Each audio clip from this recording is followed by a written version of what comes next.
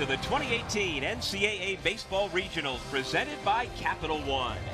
We're in Fayetteville, Arkansas, where we start with the fifth national seeded Razorbacks of Arkansas taking on Oral Roberts out of the Summit League.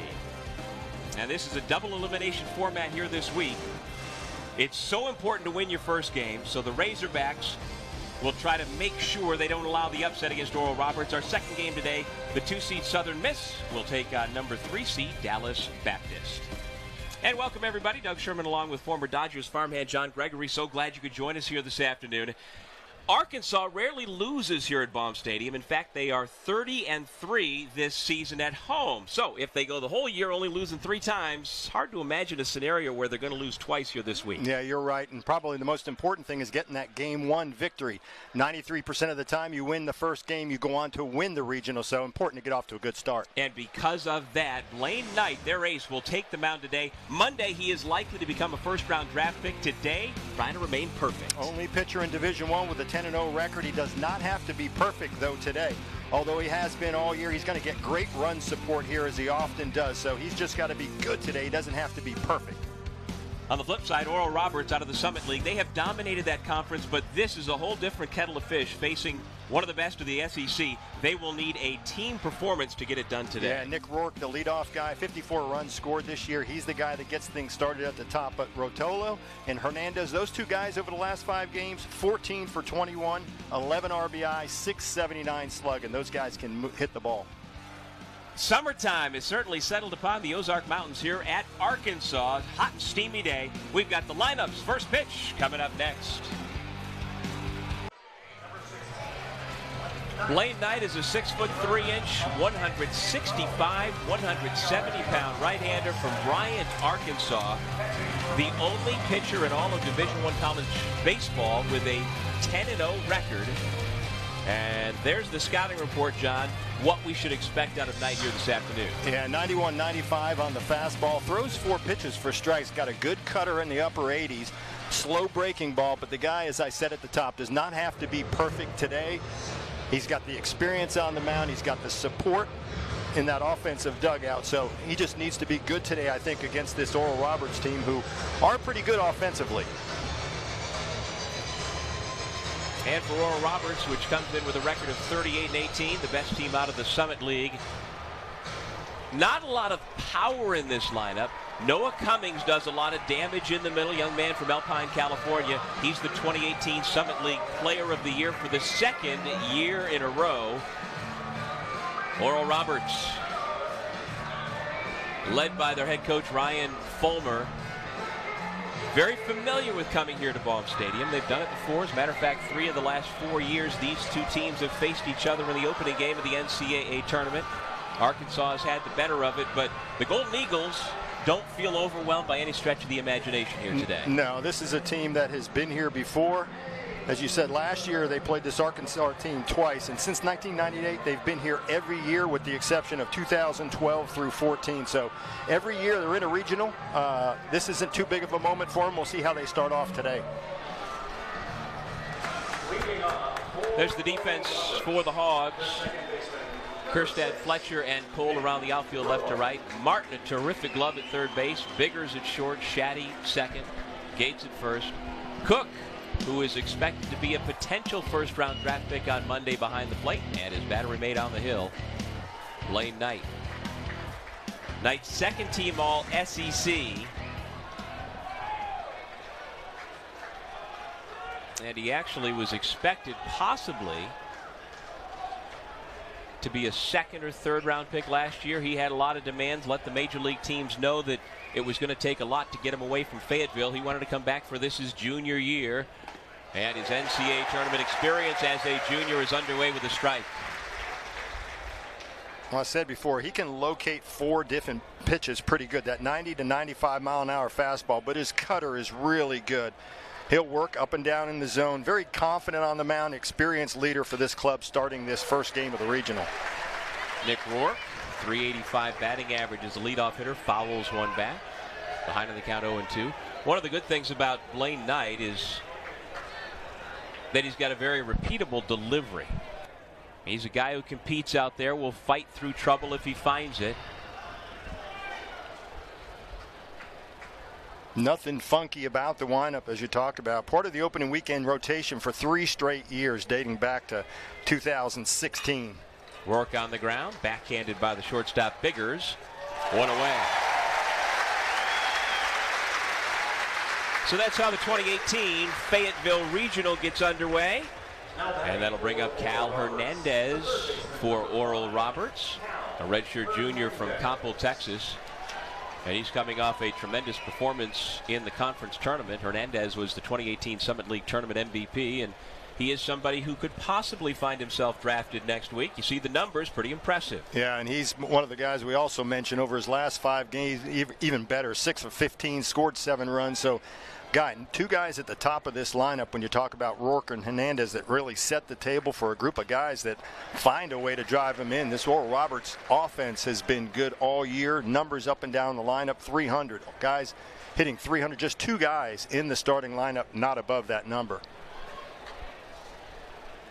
John, I mentioned Oral Roberts has dominated the Summit League. All time in the conference tournament the Summit, these Golden Eagles are 62 and 3. 62 and 3. That's incredible. They've won 19 conference tournaments, so it's really the Golden Eagles and everybody else. And from that stat, you understand that they make it to the NCAA tournament pretty much every year. Sure, and they haven't had a whole lot of success when you're talking about winning regionals, but they get here every year, so that experience they have makes them a dangerous uh, opponent. Hernandez behind on the count, one and two. But Oral Roberts has done well in recent years against Power 5 competition. They've won 25 and lost 18 over the last three years. Two of those losses, as John mentioned, right here a year ago in the regionals to the Razorbacks. Knight misses down and in. Count evens two and two. But as you talked about, those games here last June were both close, both competitive ball games. Lost those two games to Arkansas by a total of four runs.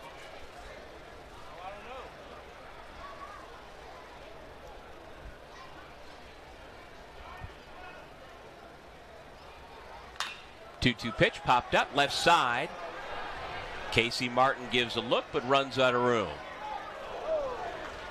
Well, Casey Martin, the uh, third baseman, for the Razorbacks is a tremendous young player. 5'11 freshman from Lone Oak, Arkansas. And you and I both yesterday during batting practice, immediately our eyes went to the third baseman, how he handles himself, carries himself out there. Yeah, he just does not look like a freshman. When you see him for the first time, you say, how does this guy have so much power? And you see him swing the bat in the cage. You see him fielding the ball out there. He was a shortstop second baseman in high school, so he's really learning the position of third base all year. But now with a whole year under his belt in the SEC, this guy's become very good defensively, but he's so much better on the offensive side. That's what he brings to this team. Yeah, three home runs last week at Hoover. Met at the uh, SEC tournament, made the all tournament team, second team all SEC, and uh, it's quite a one-two punch Arkansas has from its freshmen, along with Heston Kjerstad, who are putting their names in the Razorbacks record books. Again, the 2-2 pitch. And again, Hernandez fouls it away.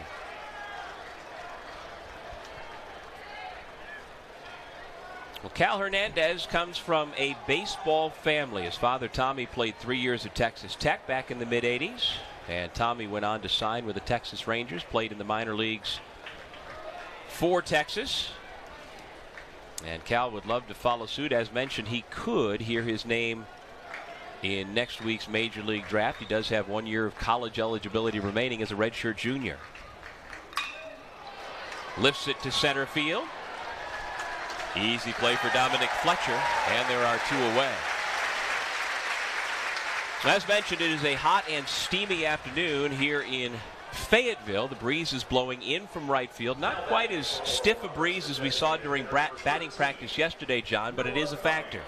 Yeah, we asked the question yesterday, does it normally blow in from right field like this? They said early in the year it does, then it starts blowing out to left, which this Arkansas team likes as many home runs as they've hit. And they said they'll even change the lineup a little bit based off of that wind coming in from right field. But so much home run, so much home run power for this Razorback offense. Really, wind doesn't keep anything in this ballpark. Called strike against Noah Cummings, the designated hitter with a 323 batting average.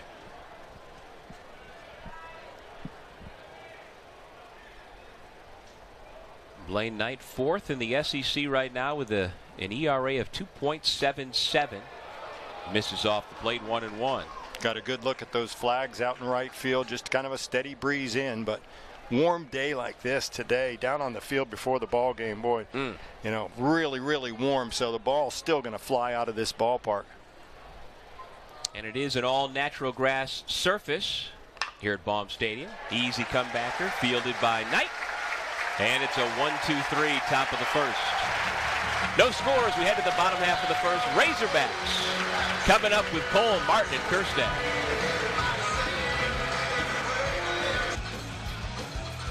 Back at Fayetteville, Arkansas coming up for its first licks of the 2018 NCAA Baseball Regionals.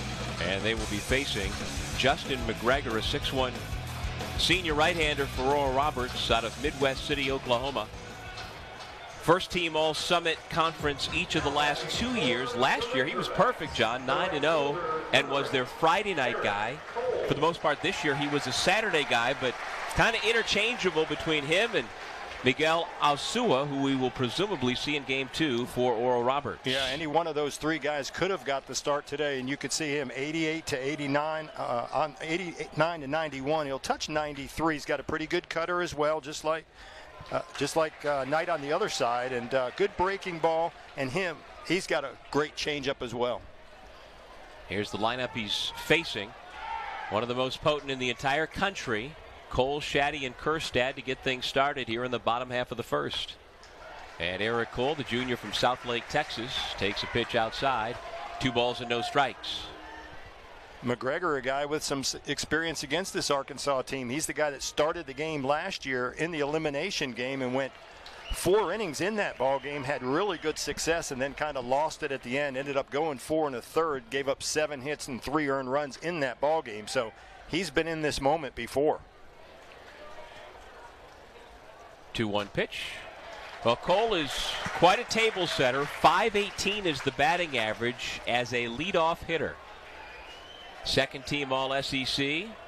He's a switch hitter, and he has really blossomed this year. On the ground to second. Backhanded by Nick Rourke, and there's one away.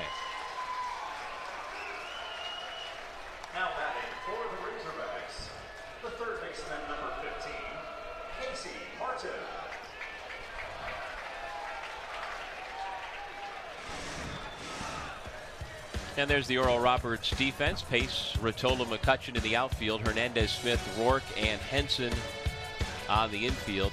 Riley Kaiser behind the plate, and Justin McGregor with his first pitch to Casey Martin missing upstairs. Martin at 343, 13 home runs to lead the Razorbacks, 43 RBIs, which is second on the team. And uh, we talked about him a little bit in the top half of the inning. What a wonderful freshman season he has had. Wow, he's just uh, when you look at his numbers, I mean, eh, they really haven't been matched from that side of it. As we see the size, 5'11, but this guy can really turn on it. Those home runs that he hit in the SEC tournament, they were huge. The bomb he hit down the left field line. There's the drive to the gap in left center. One hop by Andrew Pace, and it's a double with one out here in the first.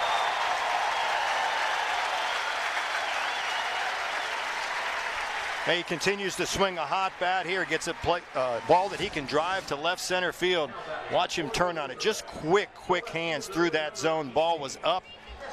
If McGregor's going to have success, he's going to have to work down in the zone against these guys. You don't want to give him the ability to lift the ball out of the ballpark.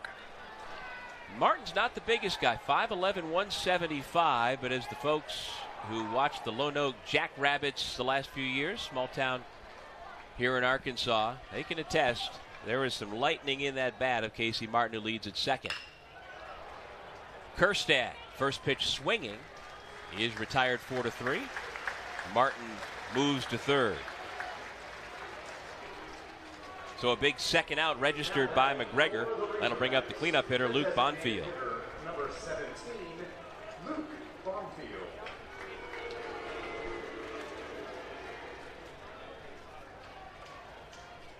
bonfield one of the seniors on this Arkansas roster from Skillman, New Jersey.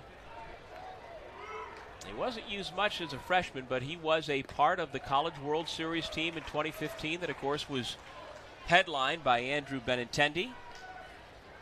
And he would love nothing more than to bookend his college career with another trip to Omaha. Yeah, he broke his ankle a first day of fall camp his freshman year, so only had seven RBIs, batted 177. But ever since then, as that ankle's gotten better, really, it's kind of forced him into that DH role where didn't have a whole lot of speed before that. Not a great athlete, but boy, he can hit the. Routine grounder to short. Harrison Smith with the play. And Justin McGregor escapes trouble. No scores. We head to the second here in Fayetteville.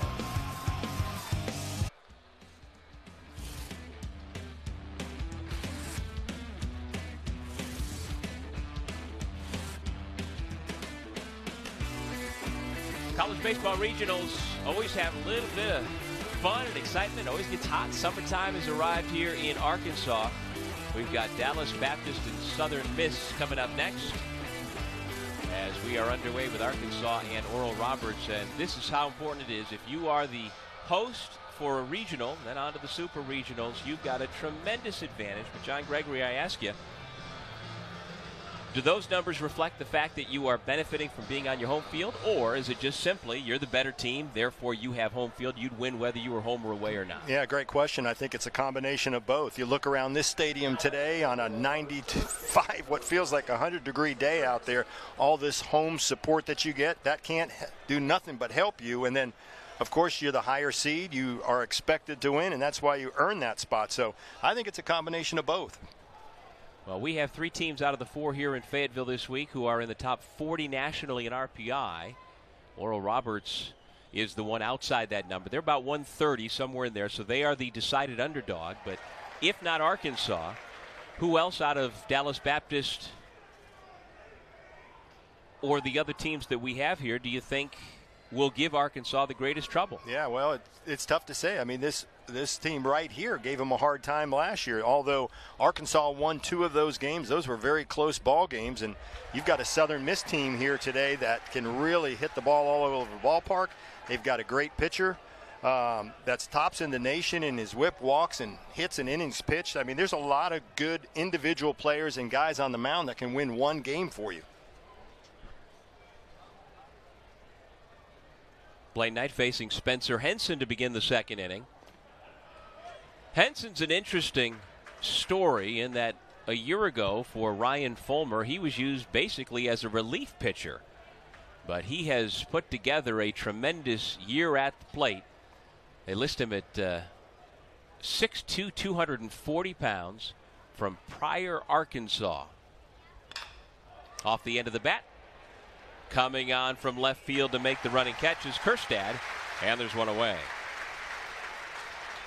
And we'll talk more about Henson as he gets another at bat in this ball game. But you said just used basically as a reliever last year, came in this year hitting, leading the team in hits, in home runs, and RBI. This guy's just done it all for this team offensively.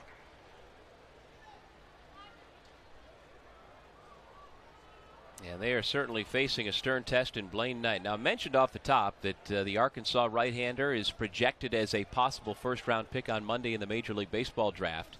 And with that, you might think, well, he'd be first team all conference. But in a conference as loaded as the SEC is, you can understand why he's second team all conference because Auburn's Casey Mize is the presumed number one overall pick.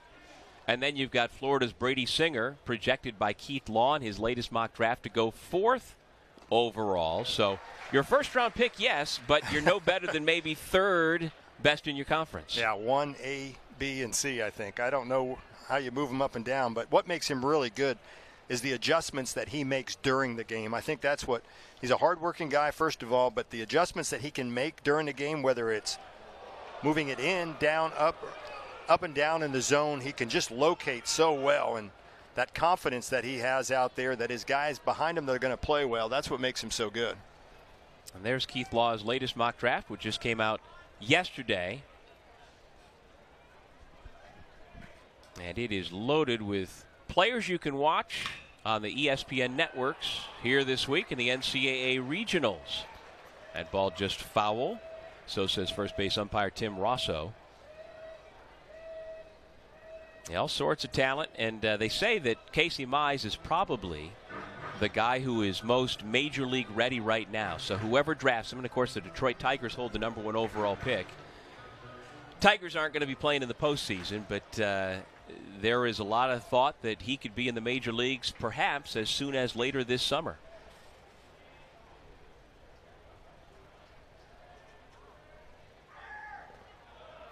I was struck in uh, meeting Blaine Knight yesterday. I mean, they list him at 165 pounds, and he mm-hmm. is not that big. I mean, there are concerns about his size, and, and certainly as you get a little bit older, you'll put on weight and some good weight. But uh, you know, other than a guy like Pedro Martinez, who was very slight, how do you generate the power that he does without a real big frame? I Pace, think Pace flies out to Fletcher in center. I think it's kind of what you talked about. It's that repeatable motion that he has on the mound, the ability to kind of repeat that. He gets in a good slot, good arm slot, and it's kind of behind, drops that leg to the ground, and really he can just generate a whole lot of power. There's a lot of guys that can do it without – having to be six foot four, six five, and 200 pounds. This is a guy that's got good quick fiber in him as far as twitch, fast twitch, and the ability to throw strikes. But you know, again, I go back to there's a lot of guys throwing 90 to 95 now, but location and how he controls his pitches. Nick Rotola with the bunt, barehanded by Martin, and he throws it away. Nice backup by the right fielder Eric Cole to keep Rotola at first base.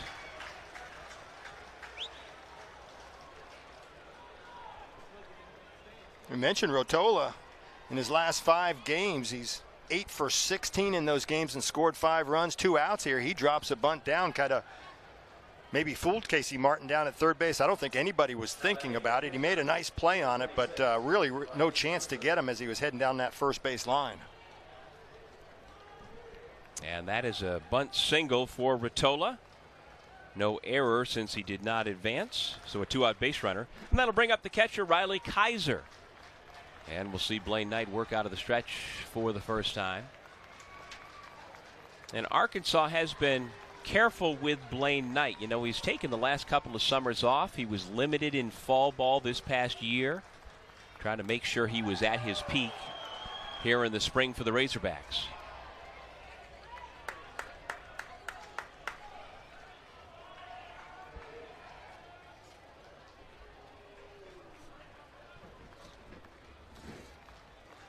And as I mentioned earlier, he was drafted last year. He was a draft eligible sophomore and went in the 29th round of the Rangers, but based on ability, he would have gone a lot higher than that. But he made it very clear to the, the major league teams that were interested that it was going to take more money than they were willing to give him at that point.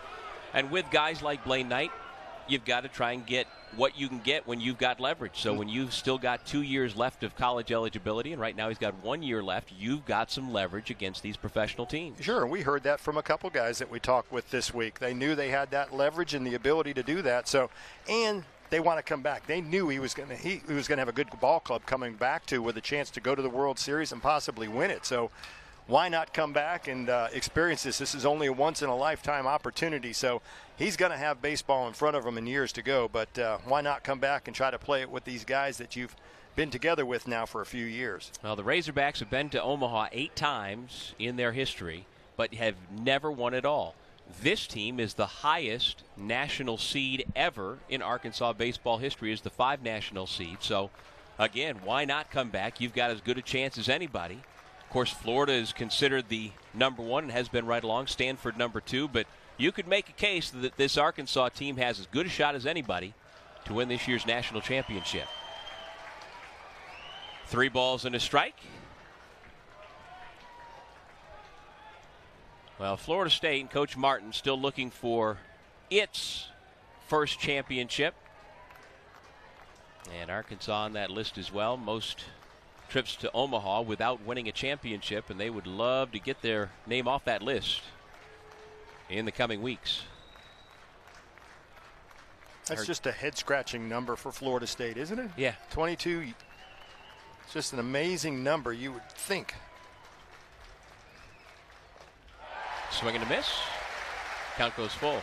I heard Coach Martin earlier this week talking about his Seminoles and their chances of getting back to Omaha again this year. Of course, earlier this year he became the all-time winningest head coach in college baseball history, passing Augie Garrido. But the one thing missing on his wonderful resume is a national title. And he said, I'd be lying to you if it didn't mean something. Sure. Of course it does. But if it doesn't happen, it doesn't happen. But this could be the year for the Seminoles, could be for the Razorbacks. Arkansas first baseman Jared Gates playing behind the runner at first, Nick Rotola. And the payoff pitch. Low and away. Did you see anything different out of the stretch from Blaine Knight? No. I mean, you're taking a look at him out there. You know, he's going to get a visit to the mound now by Grant Koch there. Just set him down a bit. One thing he wants to do today is be efficient out on the mound. With that weather out there, he's got 30 total pitches now. And you mentioned you know, the amount of throwing that he had coming into this year. But over the last six appearances, he's gone at least six innings in all of those. So, been a lot of work, not more than seven, but has thrown six innings in all of those appearances. Here in the second, he retired Henson and Pace on flyouts, but then a bunt single by Rotola and a walk to Kaiser has Oral Roberts threatening in the top of the second.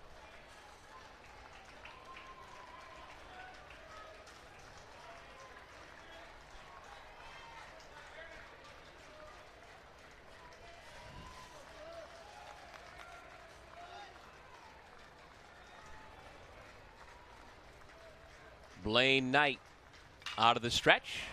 Gets a high fly ball to left. Kjerstad settles under it. And that retires the side. No runs, one hit, two men left aboard after one and a half, still scoreless in Fayetteville. Welcome back to the 2018 NCAA Baseball Regionals presented by Capital One. With John Gregory, I'm Doug Sherman here in Fayetteville, Arkansas on a beautiful afternoon as the Razorbacks take on the Golden Eagles of Oral Roberts. And these two teams separated by just about two hours.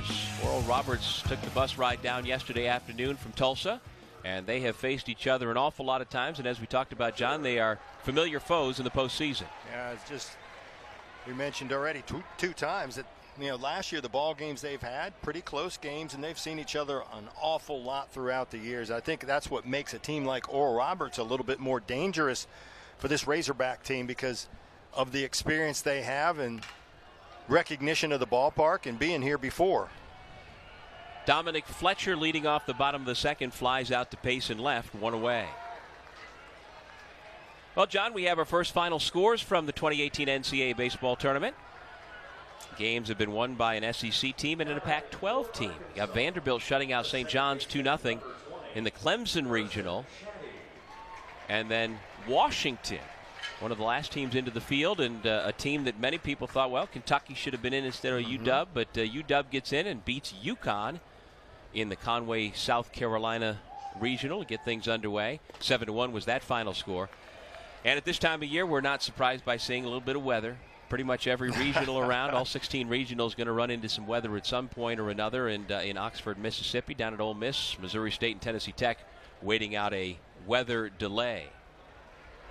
And the forecast here in Fayetteville for the next few days, hot and steamy. They say we're going to have a chance for some uh, thunderstorms tomorrow, I believe. But uh, not too bad considering. Hey, if we can get through tomorrow, then it's looking really pleasant for Sunday really going to be a big drop in temperature and humidity. So we'll take a little bit of rain tomorrow as long as it's in between games, maybe. I don't want to slow anything down. This ballpark and these fans experienced quite a bit of that last year. Carson Shaddy fouls it back and out of play. Count one and two against the right-hander Justin McGregor. Lots of action already underway on this first day of the tournament. And you can keep track of it all on the bases loaded channel. And I'm telling you, there's no better thing that you and I love college baseball to be able to watch and track all these games. How about Oklahoma at Mississippi State as Shaddy goes down on strikes? Top of the seventh inning at Dudy Noble, it's 16 to 10 Sooners. So the ball is flying there in Starkville. One upset possible. Troy leads Duke 5 0 in the top of the fourth inning. Yep. I really don't think that's much of an upset so much as Troy out of the Sun Belt Conference. Pretty good team. They get at large bid with Coastal Carolina winning the Sun Belt. They ended up getting in. And I think with one of the fastest teams in the country, they're really a dangerous team in a region. Here's Jared Gates, number three for the Razorbacks, senior from Wichita, Kansas. He's ahead in the count 2 0.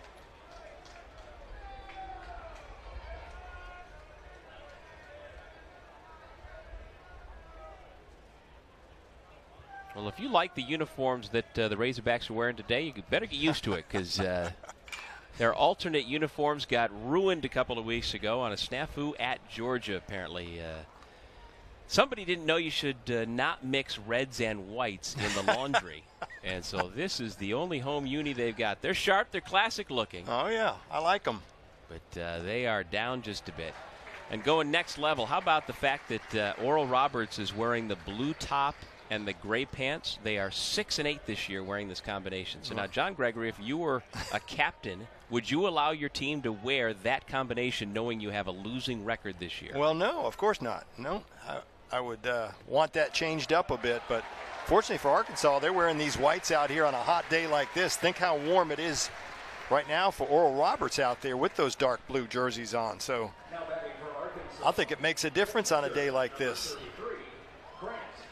You think the guy at Georgia, guy or gal down at Georgia, are looking for a job right now? Well, or maybe a promotion. you think it was an accident? Either side you look at, yeah. Well,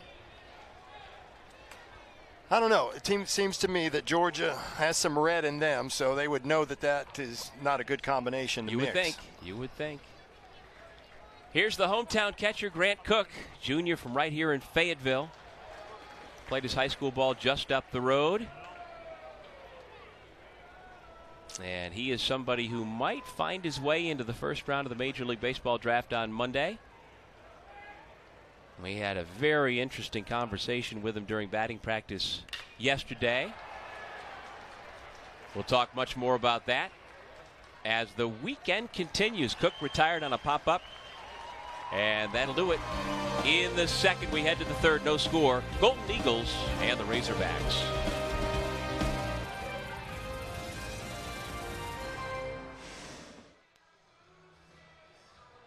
Oral Roberts, the defending champ in the Summit League, led by their head coach Ryan Folmar, who has actually won Coach of the Year in that conference for the last four years. And they once again this year swept all the major awards in the Summit. Yeah, and I think that's a trend for all four of these teams when you look at the players and how they've represented their teams and leagues. All four of these teams having guys, whether they're freshman of the year, player of the year, pitcher of the year, newcomer. I mean, you just name it. All four of these teams in this region have guys that are uh, have filled all of those spots. Well, as the four seed here in Fayetteville, Oral Roberts might have thought that it would have played in the night game. However, Arkansas has its choice whether they want to play this first game in the afternoon or at night. And the Razorbacks and their head coach Dave Van Horn decided to take the afternoon game and there are different strategies to that. And John, what do you think about the Hogs taking this first game here in this regional? Yeah, I think it's a good decision, and uh, Dave Van Horn decided to do that because he wants his team to get a little bit more rest for the next day, and I think the trend is going that way or moving that way. Of course, a lot of teams will select to play that night game on Friday so they can get their attendance here. But if you look around, you can understand why he can still play this and get the attendance. Harrison Smith retired on the pop up. Yeah, it doesn't matter where uh, or when you play the games, the Razorbacks fans are coming out. It is a blistering hot day, and uh, there is barely an empty seat here in this beautiful ballpark that's just over 20 years old, Baum Stadium. You know, the thing about it, too, if there is an empty seat, most of the people are standing under the concourse there. There are fans back there, and there's as many, there are many people standing back underneath watching this game as there is out sitting, it seems like, in the stands. Here's a good look at it. Nick Rourke looks at a strike. One of the other pieces of strategy that each coach, especially for the uh, the one seeds, but less so for the two and the three seeds, when do you pitch your ace? Do you throw him at the four seed or do you hold him? It's like Auburn's playing Northeastern right now, and the Tigers are not pitching Casey Mize, who actually threw a no hitter during the regular season against the same Northeastern team. They're saving him for a presumably tougher opponent. Here, Arkansas is putting its best foot forward against Oral Roberts this afternoon. Yeah, well, again, it's always ask you ask the coach after the game or the fans or anything else was it a good decision or bad you lose with not your number one guy going on opening game yeah then they're going to look back and say well we should have went with him so really that's a question that's been going on forever on how you should do it. But it's really a feel, or maybe it really goes back to a tournament and how a guy pitched in that tournament, how many innings they went, if they want to give him one extra day, or if they think they're going to be able to bring him back on an if necessary game on Monday, maybe to work out of the bullpen. Right. I mean, the hope here in Arkansas is that Blaine Knight pitches once. That's mm-hmm. here this afternoon. We don't see him again the rest of the week. But the reality is, between weather delays and upsets, if it does extend to Sunday or Monday by pitching him here on Friday afternoon as opposed to Friday night or as opposed to Saturday. He's got a little more rest in case you need to turn him around for an inning of relief here or there. He misses down and inside to Nick Rourke. And the count is two and two. And there's a look at the terrific catcher, Grant Koch, who is, as far as we can tell, the only catcher in the SEC calling his own game.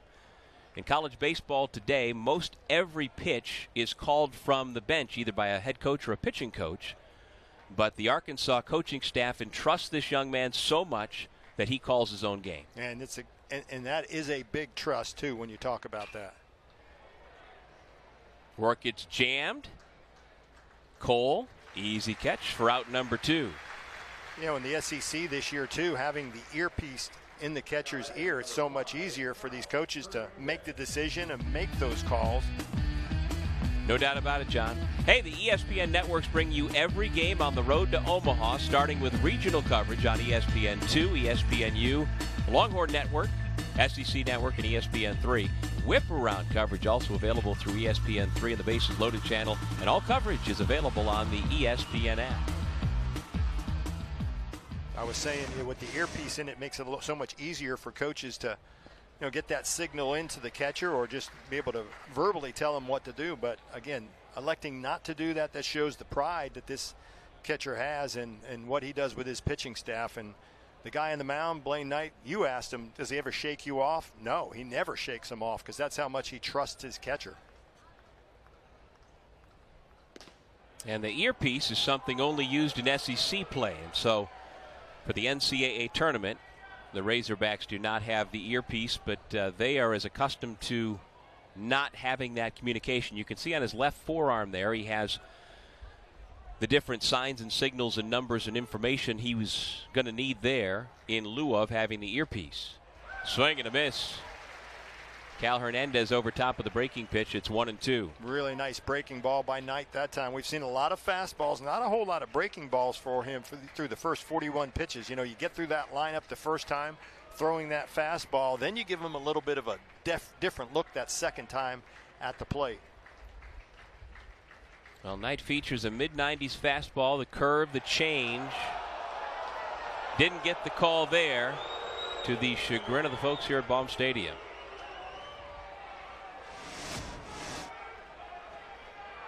Now Koch was making his way to the dugout.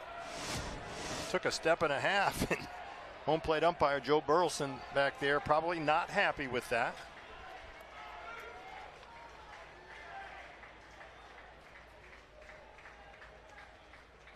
The 2 2 pitch. Swing and a miss. First strikeout of the game for Blaine Knight, who has Oral Roberts scoreless through three. First pitch at the bottom of the third inning misses low and outside to Jax Biggers.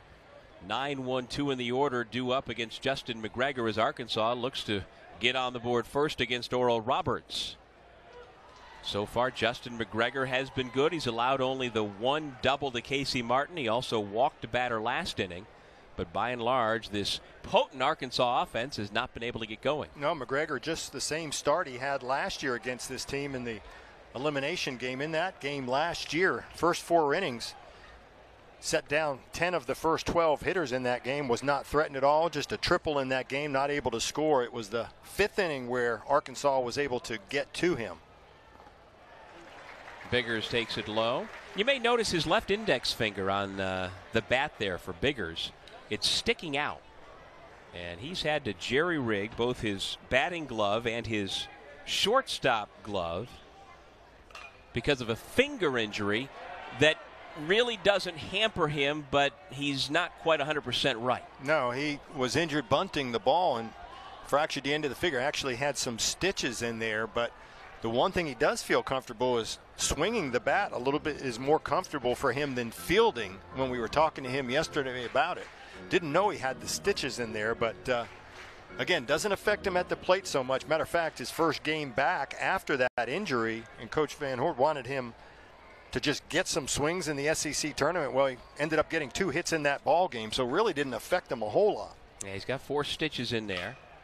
Ground ball right side, and it sneaks past the glove of Nick Rourke. Leadoff single, and the Razorbacks get the bottom of the third off to a good start. Well, anytime you can get your leadoff guy, especially the number nine hole hitter, to get on first base with a base hit there, and you can see that finger as he's taken off that glove. Again, doesn't affect him so much at the plate as compared to what it does fielding. But to get that leadoff guy on to start with your top of the top of the lineup right now, that's a big lift for this Razorbacks offense. And I'm a little bit surprised he doesn't go with the oven mitt type of protection we see for that left hand when he's running the bases, but that tells me perhaps that he does not slide head first. Hopefully he doesn't.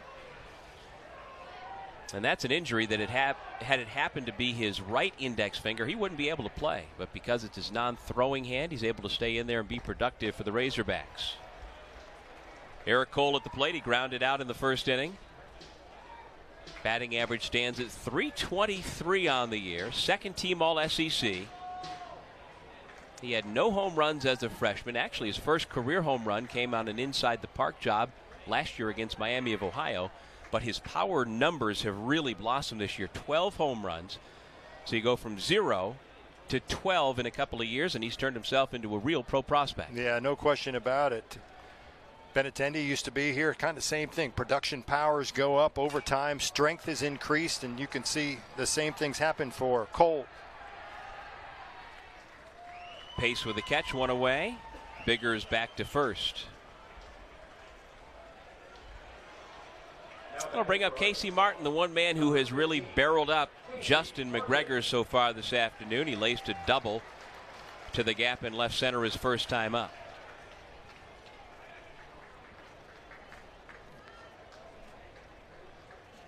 Saw McGregor on the mound picking up that rosin bag. Humid, humid day out there.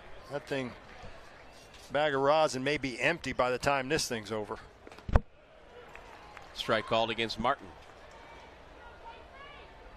Well, with one more home run, Casey Martin will become the most prolific home run hitter among freshmen in Razorbacks history. He's currently tied with Zach Cox, who back in 2009 hit 13 home runs. That won't leave the park. Lifts it a mile high to left. Another easy chance for pace. Two away.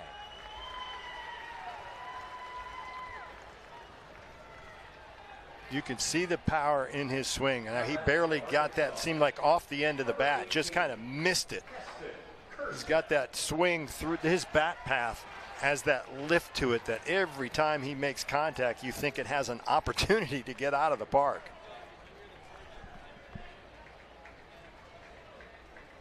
Here's Heston Kjerstad from Amarillo, Texas, the other freshman in this terrific one-two punch of rookies, Martin and Kjerstad.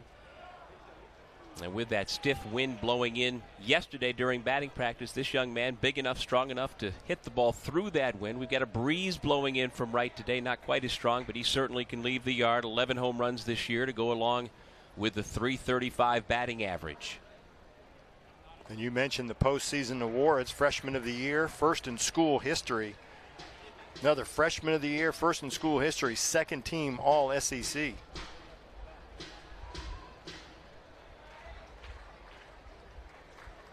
And he has done some good things against some of the top pitching in the SEC this year. High fly, deep left field, pace back, he runs out of room, and it is gone! A two-run shot off the bat of Heston Kjerstad.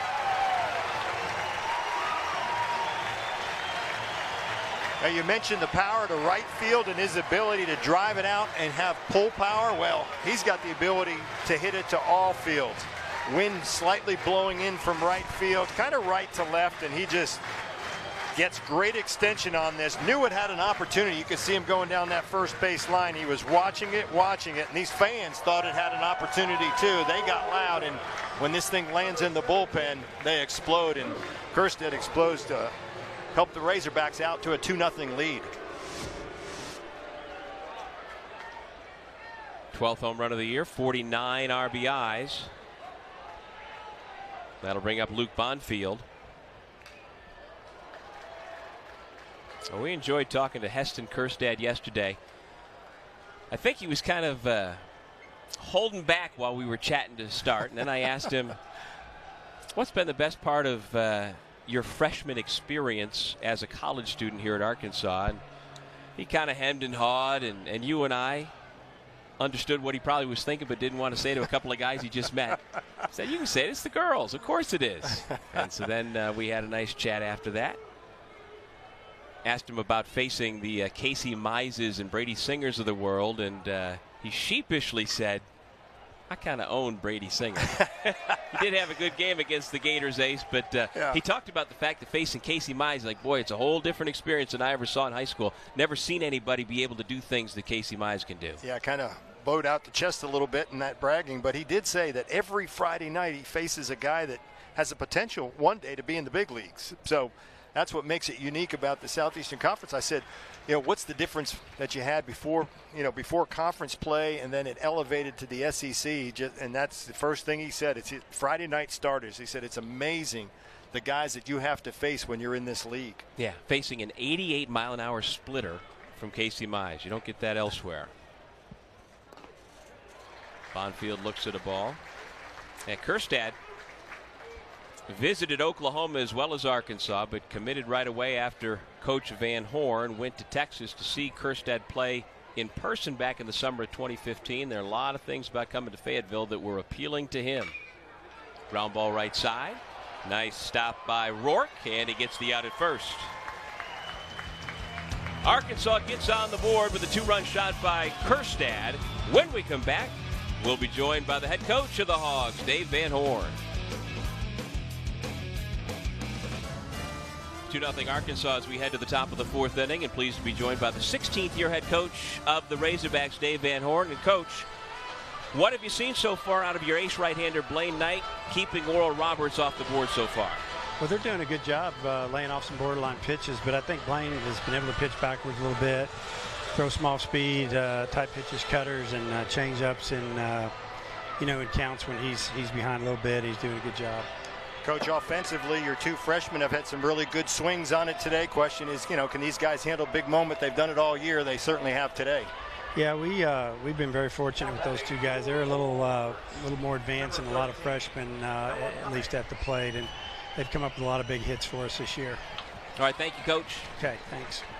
And indeed, Casey Martin with the double in the first inning, and then the big two-run homer in the third by Heston Kjerstad. And let's see how the Golden Eagles will respond here in the top of the fourth against Blaine Knight. And if you can explain, John, you, you pitched professionally in the minor leagues for the LA Dodgers. What exactly is it when he's talking about pitching backwards? Well, that's, you know, most times you'll find guys trying to get ahead with guys, then throwing breaking balls, but you know, you'll see 83 mile an hour breaking ball right there to start a hitter off. Sometimes pitching ahead, you know, pitching behind or pitching ahead of somebody really dictates what's going on you know, based off of the account. But what he's doing is he's dictating out on the mound by pitching backwards. Well, they say his curveball is his fourth pitch. There it was right there. He doesn't have as good a command at that. But uh, he's got a, uh, a really, really good cutter, a mid 80s cutter that is kind of an out pitch for him. Yeah, I, you know, I called it off speed. That cutter is kind of a slurve slider type thing, but cutter. But mid 80s, he throws that. You know, when you compare that to a mid 90 fastball, that's that off speed. So still throws it. Looks like a fastball coming out of his hand. Whether he throws the breaking ball, the fastball, changeup, or that splitter, they all look the same as they come out of the hand, and that's what makes it hard to recognize as a hitter. Noah Cummings way out in front of the last pitch, and he finds himself behind the count one and two. Cummings 0 for 1 today, retired on a comebacker in the first. The designated hitter for Oral Roberts. Looking for their 39th win of the year, but uh, up against the Arkansas Razorbacks best, who picks up his second straight strikeout. One away here in the fourth.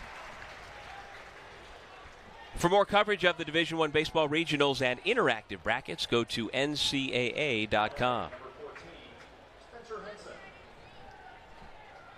Talking about that cutter, that was a nice one threw last time to get the strikeout. It was outside corner, great location out there, 83 miles an hour. Really kind of becomes an untouchable pitch for that right handed hitter that's got two strikes.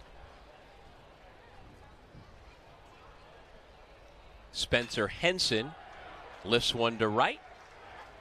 Shaddy goes out, gives way to Cole. Very quickly, two men away here in the fourth. And I think so important for this Arkansas defense now to get off the field. Blaine Knight, if anyone knows how important it is to put up a zero after your guys put up some numbers. So I think it's the most important inning to get a zero on the scoreboard once your team scores a couple runs. It just motivation for them to get back in the dugout and see if they can't get some more on the board. Two away for Andrew Pace. And the junior college transfer takes a strike. Young man from Beaumont, Texas, who spent the last two years with the Panola College Ponies after having played his high school ball at Monsignor Kelly. Pace gets hit by the pitch.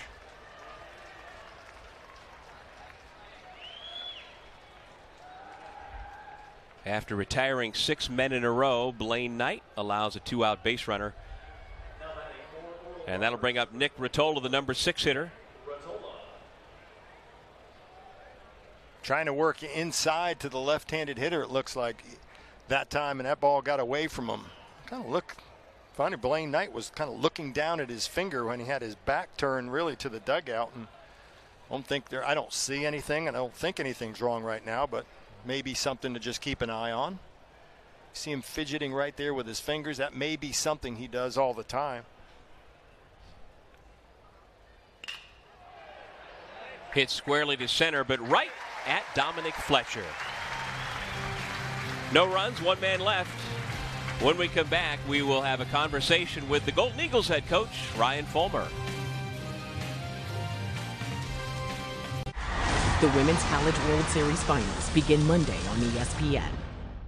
The Detroit Grand Prix today at 3:30 p.m. Eastern on ABC. Razorbacks 2, Golden Eagles nothing as we head to the bottom of the fourth inning. Joined now by the Summit League Coach of the Year Ryan Folmar for Oral Roberts and Coach. Your starting pitcher, Justin McGregor, other than the two run homer he gave up last half, has looked pretty good so far today. Yeah, he hasn't made many mistakes. He made one to the to the wrong guy.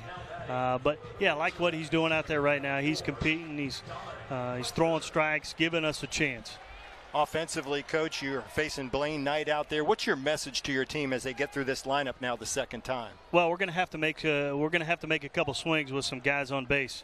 Uh, he, he's good, man. Uh, he, he can really command it to both sides with a fastball. Uh, he's throwing his breaking ball for strikes, gotten the changeover a couple times against a couple left hand hitters. So we're going to have to make some big swings at some point. All right, thank you, Coach. Thanks, guys. There's the aforementioned Justin McGregor, number 10 in blue on the mound for Oral Roberts University from Tulsa, Oklahoma, just a couple hours away from here. Very familiar opponent. And it's something that Coach Folmar has tried to cultivate over the years to get a non league rivalry, and especially when you play in a league like the Summit League. Dominic Fletcher, retired 4 to 3. you have to bolster, if you want your RPI to be at least decent, you have to bolster your non conference schedule by playing the Arkansas of the world when you can get them. Yeah, absolutely have to do it because even if you're beating teams in the conference because their RPI is so low, it's not helping you in those, even if you're winning on the road. So what they have to do is they have to schedule up and do that and that's you know it's a challenge for the players. That's what they want to do anyway. That's why you elect to go to a school like that because you know you're going to play that schedule. You know you're going to have an uh, opportunity to play in the postseason and that's why they can recruit so many of the good players that they do. And you know oral roberts is not your prototypical four seed in the regional round. A lot of times you get teams that are overmatched and don't have any professional prospects. That's not that's not the case with Oral Roberts. This is a program that went to the College World Series in 1978. They came here to the Fayetteville Regional in 2006 and swept their way onto the Super Regionals.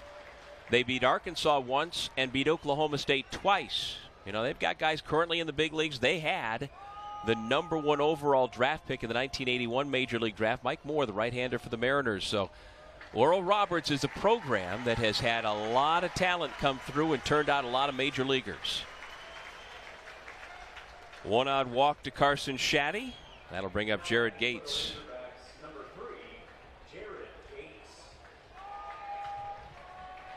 That's the second walk issued by McGregor.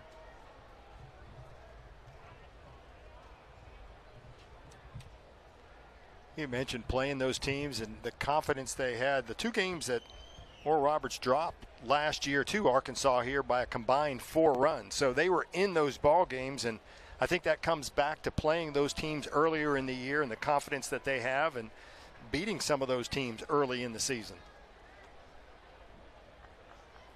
Well, this is the 28th time Oral Roberts has made it to the regional round. Second straight year here at Baum Stadium. And the man on the mound here was their Friday starter last year. Justin McGregor, first team All Summit each of the last two years. He went 9 0 last year with a 2.99 ERA, 6 1 this year, 2.56 ERA coming in. Breaking ball misses low, one ball, one strike. Just one strikeout on the day, and he's a guy that actually leads the team 33 strikeouts looking. So you know, any indication when you're leading your team in strikeouts looking, that means you have some pretty good stuff that hitters lay off. They don't see or don't recognize, and you fool a lot of guys. Has not been able to fool this Arkansas team early in this ball game yet, as far as strikeouts go. There's a good look at Jared Gates, Arkansas first baseman.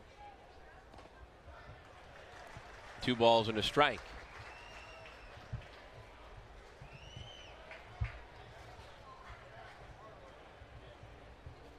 Gates is out of Northwest High School in Wichita. Played a couple of years at Iowa Western Community College before transferring here to Fayetteville. Runner goes, bouncing ball right side. Big hop for Rourke, and he gets the out at first base. Moving on to second is Shaddy.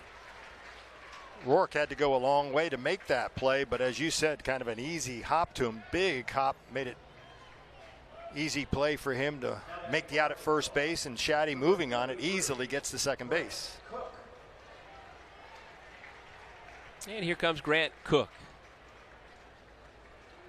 Young man who, as uh, mentioned, grew up here in Fayetteville, had season tickets. He and his family came to watch Razorbacks games every chance they could. And uh, he said he's probably got about 50 family and friends sitting behind the third base dugout and down the third base line here today. He's very well aware of the fact that it's likely his final go round as a Razorback. He's going to go early in the uh, Major League Draft next week, and you got to compartmentalize at this time of year and focus on the task at hand. And he seemed to have it in a pretty good balance yesterday when we chatted about that. Yeah, I think this entire team does. There's so many guys that are going to have an opportunity to play pro ball, but I really, truly believe the focus of this team is getting to the World Series and not only getting there, but an opportunity to win it. I think, and the big le- the leadership from that comes from a guy like this behind the plate that calls his own pitches, has been here, that's committed to this program ever since day one, and guys follow leaders like that, and he's one of those type of leaders. Well, he had a monster summer of 2017 with the U.S. Collegiate National Team, and that really put him on the uh, map with pro scouts as he falls behind in the count 0 2. They list him at 6 feet 195. He won an Arkansas State Championship in 2013 as a high school sophomore at Fayetteville High, just up the road. And he uh, has been able to tap into the Razorbacks alumni network to really round out his game. Tom Pagnozzi was a great catcher at Arkansas, played several years in the major leagues, and Tom Pagnozzi has served as somewhat of a catching mentor for Grant Koch. And everybody needs one, and why not? That, along with his dad, and you know just the history that he's had growing up, and the ability be taught by some pretty good guys, and that's why a guy like that can step in early in his career and kind of command a pitching staff and help them mature. Another line drive foul. Count holds one and two. Well, Koch made the all SEC defensive team this year. And with a uh, notable lack of draft eligible catchers this year, he's got a pretty good chance to go in the first few rounds. Of course, uh, Joey Bart at Georgia Tech expected to go in the top five. You got a couple of high school catchers who might go later in the first round. And after that, Koch might be the next to go. Once again, unable to wait long enough. This time he drives it out of the ballpark, but foul. But I think Koch is on top of McGregor right about now. Yeah, it seems like he's getting a little bit closer and a little bit closer every swing. We'll see, that was where a couple breaking balls, 82 miles an hour, way out front. We'll see where McGregor goes with this. Is it some type of cutter outside to keep try to keep him off balance, or if you're going to miss with a fastball, don't miss over the plate because he's timing you up good right now. Shaddy leads at second. Another line drive, short hop, on a bounce by Smith. Throw a little bit high, but they record the out. Nice job by Justin McGregor to get out of trouble. Still 2 0 Arkansas. You're watching the 2018 NCAA Baseball Regionals presented by Capital One. From Baum Stadium in Fayetteville, Arkansas. Alongside former Dodgers minor leaguer John Gregory, I'm Doug Sherman. So pleased to have you with us on this first day of the NCAA baseball tournament. And so far, so good for the Arkansas Razorbacks.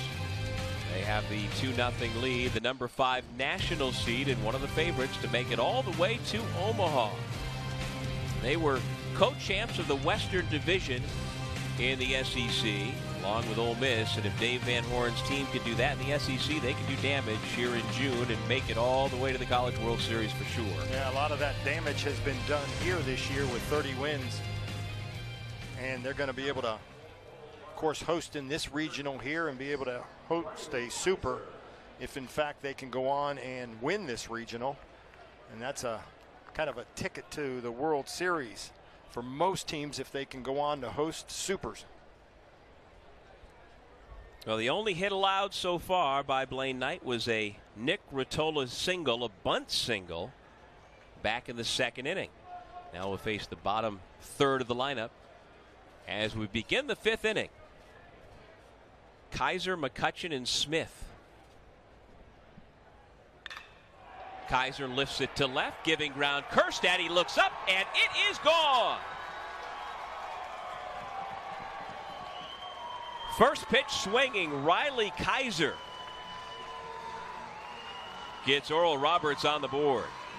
That's just his fourth home run of the year, but that was a 90 mile an hour fastball that he turned around immediately.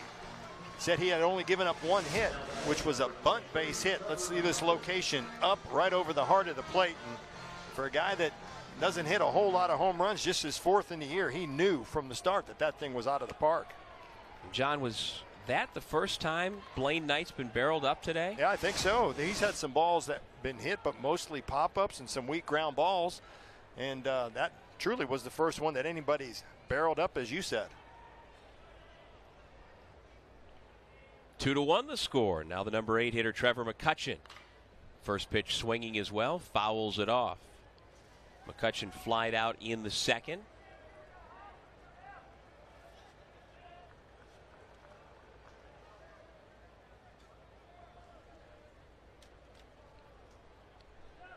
Talked about the depth of this lineup, one through nine, as far as hitters go.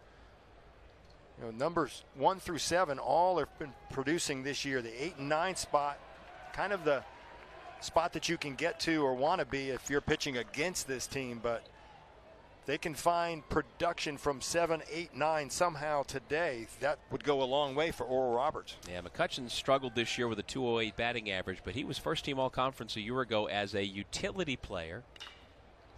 Little out in front that time, lifts it out to shallow center. Fletcher comes in. One away.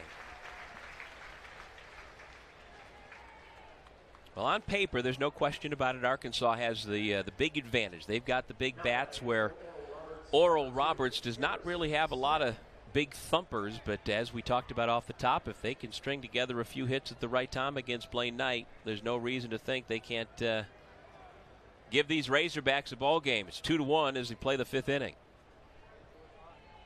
And I think those string of hits have to come from this bottom part of the lineup. Somehow they got to find a way to be able to get on because the guys early in the lineup can certainly put the ball in play. And if you have guys on and putting a little bit of pressure on the defense, that's going to make a big difference in the ball game.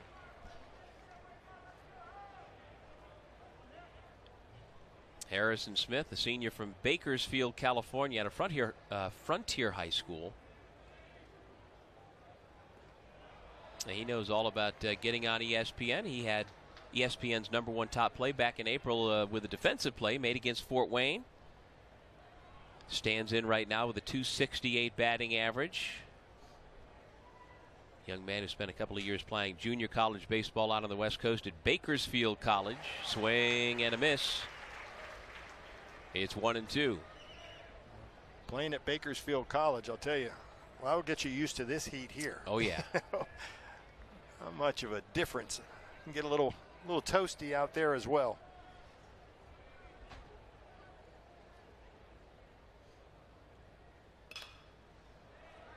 Easy pop to first. Gates gloves it. Two out. So, what were the stops along the way for you in the Dodgers minor league system? Yeah. Played out in the California League. I was in Lodi, California, so having through Bakersfield, played with some guys from that area out there. Florida State League, another place. I was nice and warm and toasty, and the ability to do that. And rookie league up in Canada, so not too bad there, weather-wise.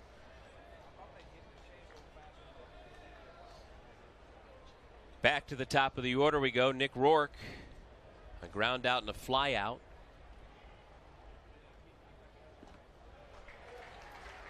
Oral Roberts has gotten on the board here in the top of the fifth inning with a home run by Riley Kaiser. Blaine Knight is settled right back in after giving up the long ball. You know, growing up in South Florida, talking about the heat, you know, it's something you really just don't recognize when you're that age. You, you know, you're just playing ball out there. You could really care less. It's the people that are out there supporting you in the stands and all of that. But not bad at all. You just go out there and play in baseball. You, not once, I don't think I ever really thought about it. That ball's pretty well hit to right center, but it's playable. Fletcher puts it away. Blaine Knight still in control, but he makes a mistake on the first pitch of the fifth inning. And it was deposited over the wall by Riley Kaiser. Oral Roberts on the board. It's 2 1 Arkansas.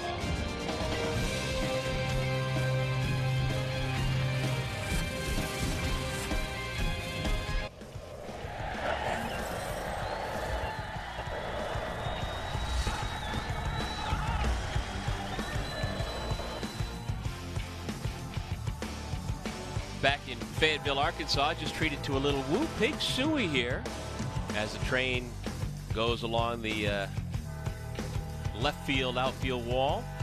College World Series is on the horizon. Will Arkansas be one of the eight teams to get there? Razorbacks have done it time and again. Eight times they've made it that far. They were the national runners up in 1979. The last time Arkansas made it that far to uh, to the College World Series was three years ago, but they have never been the last team standing, John. They've gotten close.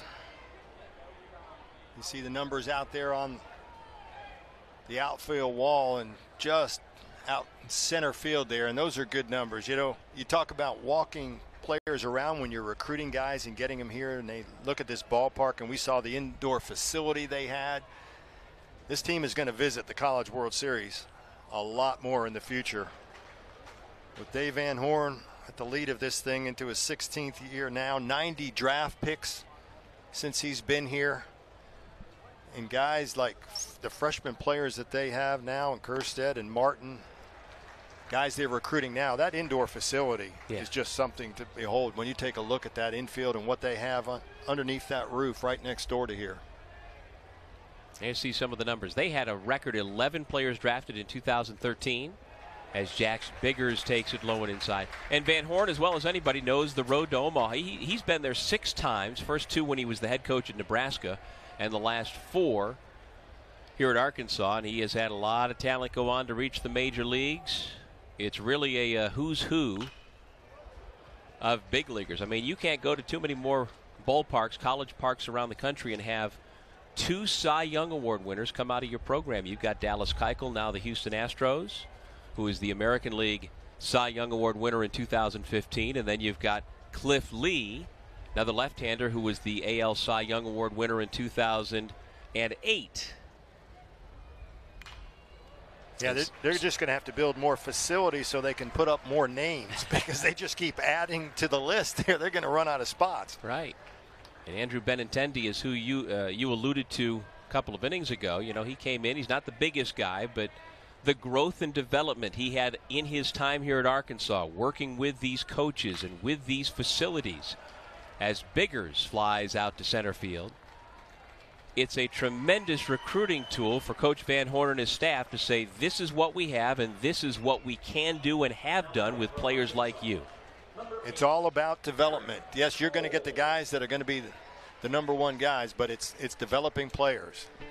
Going way back, Jeff King, the first overall draft pick in 1986 of the Pittsburgh Pirates. There's the left-hander Cliff Lee back when they had AstroTurf here at Fayetteville. Dallas Keuchel pre-beard. Clean shaven. And then most recently, Andrew Benintendi, the uh, Golden Spikes Award winner three years ago, who made it to the big leagues very quickly and has established himself as an impact player at the major league level right away, having a great season once again on a tear right now with the Red Sox. I look at that picture and I just think, you know, how much, how strong his arms and forearms look and the growth that he had over his years here. I thought he put a lot of that strength and size on once he got to the Red Sox, but he was put together pretty good as a senior here. They've got several guys currently in the major leagues right now. James McCann, catcher for the Tigers. Logan Forsythe with the Dodgers. And we kind of breeze past Jeff King. He, he's on that Mount Rushmore of Arkansas baseball. He didn't have the big league career that a Chipper Jones or a Ken Griffey Jr., some of the Alex Rodriguez, some of the other number one picks, first overall, have had. But uh, he was a solid big leaguer, and he was a tremendous college player from the first time he got here to Arkansas back in the 80s mean, he had a great freshman year, followed it up with two more years to earn himself the number one overall pick in that uh, 1986 draft by the Pittsburgh Pirates. I got a trivia question for you. All right. First of the regional, I like it. Little comebacker by Cole. He's retired one to three. So King was one of three players to hit two home runs in the same inning twice during his career. Mm. You know the other two? Oof. I thought I'd start you off with an easy one. yeah, take a look at that mustache. That's what I'm liking. Uh, Willie McCovey, Andre Dawson. Two okay. other guys. It's unique, hitting two home runs in the same inning twice during his career. Good. It's pretty good stuff. One of the all-time great Razorbacks, no doubt about it. See, I figure you're going to nail me all weekend. I thought I'd just get that one out of the way. I had to study for that. You know? I like that. That's a good one. and that's some pretty good company to be keeping if you're Jeff King. A couple of Hall of Famers there. Yeah, as soon as you walk into uh, Baum Stadium here, you are greeted by all the familiar names and faces of those who have passed through these doors and gone on to major league success. And the folks here in Fayetteville take it real seriously. And you and I have had the pleasure of going to LSU, going to Mississippi State, some of the other hotbeds, Ole Miss, for college baseball around the SEC as Casey Martin takes his base. But here in Arkansas, they don't take a back seat to anybody No, in that department. Not at all. These fans are tremendous. Doesn't matter. Two o'clock afternoon on a Friday, and they're all sitting here. That's a good look down the left center field. They got here early. As soon as the gates opened, they were lined up outside already to get those spots for batting practice. And you can see back underneath in the shade. There's, as I said earlier, more people standing back underneath that are not taking the seats right now because it's just too warm of a day to be sitting out there. Yeah, it seems like every two, three, four years they're putting something else up here for the baseball program and for the fan experience. The uh, the big scoreboard out in right field's only a couple of years old. And it just is a wonderful environment here in Fayetteville. Fans not happy about the called strike against Heston Kjerstad, who blasted a two run homer his last time up in the third inning. Rips it to right, his second hit. Casey Martin rounds second, heading for third, and he'll beat the throw from McCutcheon.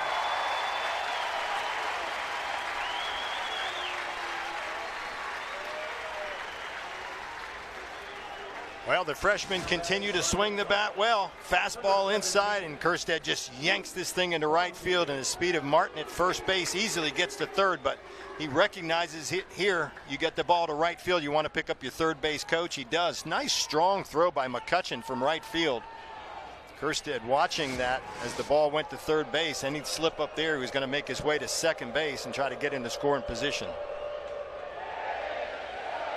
A little Woo Pig Sooie as we have a mound visit from the Oral Roberts dugout. Now we mentioned it before. McGregor on the mound. It was last year where he went four innings and retired four, 10 of the first 12 hitters in that ball game, and he ran into trouble in the fifth. And here we are again. You just wonder, you know, is it going through his mind? He's able to get a couple outs here in this inning. He just needs to find his way out of this inning. I see some action in the bullpen for Oral Roberts. That's Brady Womax, fifth year senior right hander.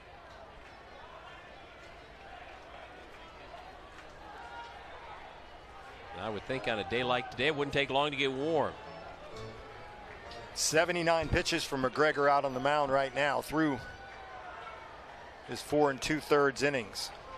And probably no bigger hitter for him right now than right here. If he doesn't get this guy, do you go get him early in this thing?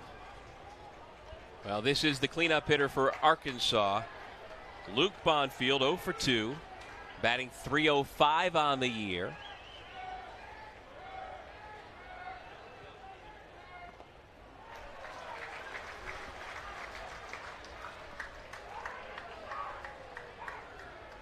There you go, up and down this Arkansas lineup, lots of power. Starting with Cole at the top with his 12 home runs. You look at the home run totals 12, 13, 11, 8, 8, 10 out of your top six hitters. Doesn't need a home run here. A base hit will score a run for the Razorbacks.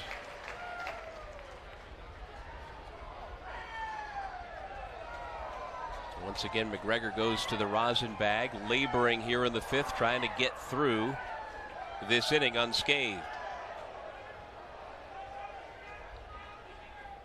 In the dirt, 3 0. Started him with a breaking ball and trying to stay off speed here with him at the plate.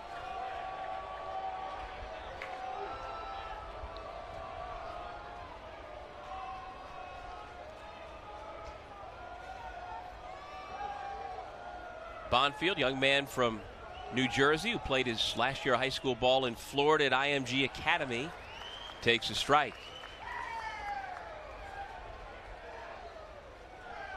Dangerous hitter, been a starter ever since his freshman year. Didn't play much freshman year, but uh, middle of the order kind of guy. 6'3, 215 pound senior out of Immaculata High School in New Jersey.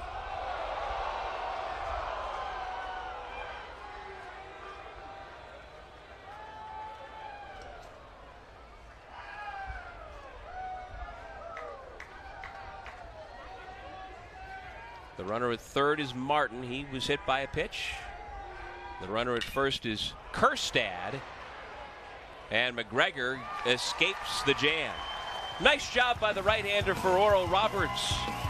Leaves a couple of runners on base. It's still 2-1 Hogs. Florida Gators make it back-to-back national championships. Florida, the number one overall national seed coming into this year's tournament, looking to defend that crown from a year ago. Hasn't been done since the Gamecocks a few years ago from South Carolina. And you would think Florida's got as good a shot as anybody, but I'm telling you, John, they struggled the last couple of weeks. Had an early exit from the SEC tournament. And in spite of all the talent and all that they have done, when a team gets sideways, sometimes can't get out of their own way. Exactly. And uh, as you said, you know, many people say, okay, SEC tournament, uh, you know, they weren't focused on that. They're going to focus on the World Series, and that made all the sense in the world. You think about it, but the way they finished the year too, it's questionable. You know, does it start to leak into the back of your mind that, you know, hey, we're not playing our best baseball right now, and can you turn it around? But for them today, a good sign. They got behind early in their ball game to Columbia today and ended up winning that thing pretty easily. But uh, for for a short amount of time, I bet you there were some Gator fans at the end of their seats, a little concerned. Yeah, Columbia led 3-1 in the third inning, but uh, Florida finished up with a 13 5 victory, scored six times in one inning. And so they are in the winners bracket down in the Gainesville Regional as Cal Hernandez is retired. Just 66 pitches so far for Blaine Knight in this ball game, and you know we're into the sixth inning. That's how efficient he's been on the mound, and you want that type of efficiency on a day like this. You just get the feeling nothing really rattles him out on the mound. If he has a bad day or a bad inning, he's a guy that just kind of lets it go off the shoulder, doesn't worry about it too much, and refocuses on the next hitter. Some of the other winners so far today around the country Oklahoma State has beaten South Florida 9 to 2. Vanderbilt shut out St. John's 2 0. We mentioned Florida over Columbia 13 to 5. Washington with a 7 1 win over Connecticut. Those are the finals. A couple of regionals in weather delays right now. It's uh, raining in Athens, Georgia, with Troy leading Duke 5 0 in the middle innings. And Missouri State and Tennessee Tech have not gotten underway in Oxford, Mississippi. Low and outside to Noah Cummings. Well, what a marvelous year Noah Cummings has had, the fifth year senior from Alpine, California, Granite Hills High School. He became Oral Roberts' all time RBI king last week. He's a three time Summit League first teamer.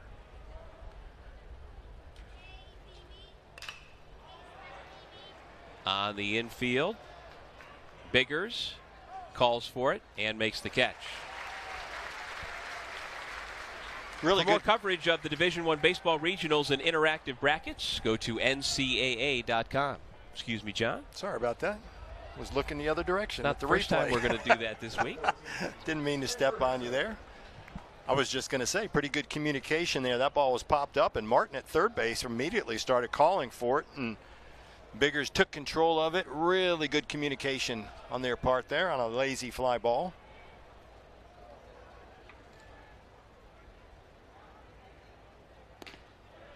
Spencer Henson, the cleanup hitter for Oral Roberts, takes the ball. He's flied out a couple of times. Came in with a gaudy 368 batting average. He's a fire plug of a guy. Got a lot of power. Nine home runs to lead the team. He and Cummings both have nine. 54 ribbies, which is second on the team to Cummings. Oral Roberts down a run. All three runs have come on home runs.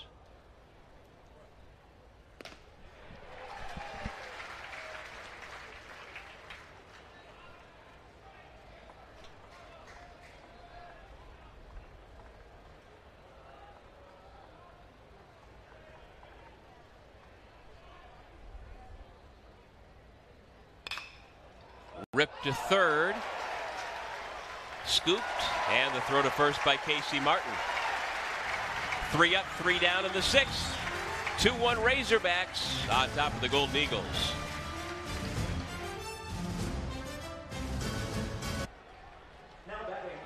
Back in Fayetteville, Arkansas, with John Gregory, I'm Doug Sherman. The Razorbacks with a 2 1 lead over Oral Roberts in this first game of the Fayetteville Regional. It's NCAA baseball presented by Capital One. Every single game between here and Omaha brought to you on the ESPN networks, and we're glad you've tuned in here this afternoon. Got a good one. The one seed here in the regional, Arkansas, being pushed by the four seed Oral Roberts. It's the SEC against the Summit League, but the uh, right hander on the mound for the Golden Eagles, Justin McGregor, has done a tremendous job navigating through a little bit of trouble against this very dangerous Razorbacks offense. Yeah, able to get out of that last inning. I think they had a visit to the mound. Bullpen was ready, so I think he'll probably be on a short leash from here. Pitch count now up to 86 on the day, so you know how much do you let him go on a warm day like this? He's thrown seven and a third this year. That's his longest outing. That was back on May 13th, and for a career, he's never had a complete game. He's gone eight last year against Western Illinois. Walks the leadoff hitter Fletcher. And that's not a good way for him to get the sixth inning underway. The ESPN networks bring you every game on the road to Omaha, starting with regional coverage on ESPN2, ESPNU, Longhorn Network, SEC Network, and ESPN3. You can keep up with the entire tournament with bases loaded no matter where you are, including here at the ballpark. John Gregory and I keeping track of everything else as we get another mound visit for the Golden Eagles. That young lady's not worried about what's going on in the Gainesville Regional or out in Corvallis. She's having fun right here in Fayetteville. Yep, and creating memories. I'll tell you, she'll never forget it. This will be the time she go. We used to go all the time. I remember it. That's take a look at Wes Davis, the pitching coach.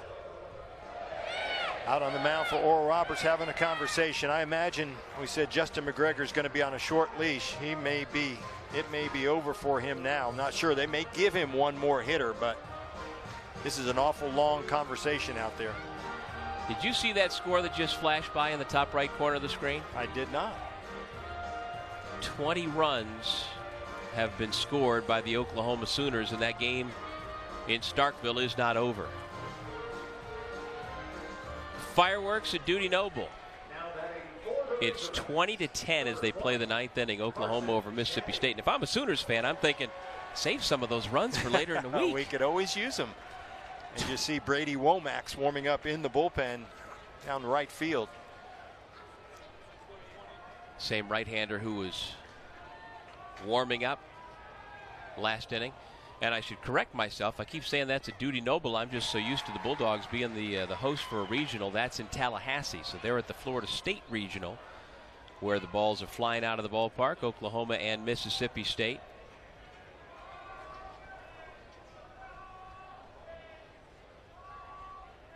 Carson Shaddy takes it low and outside. Once again, Justin McGregor struggling to find the strike zone.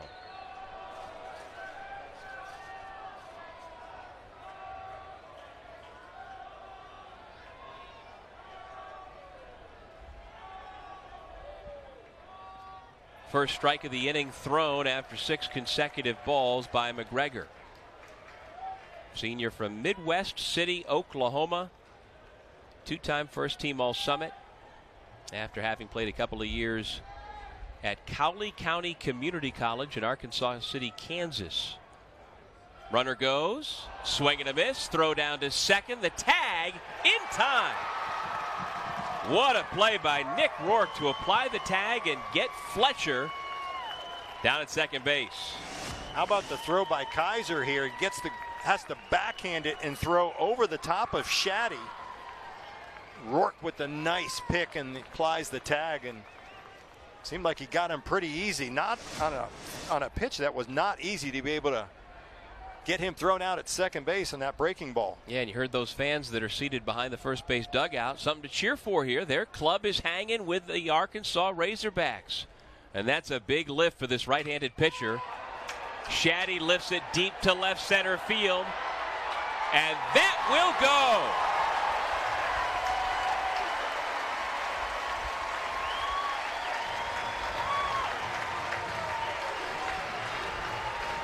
11th home run of the year for Carson Shaddy.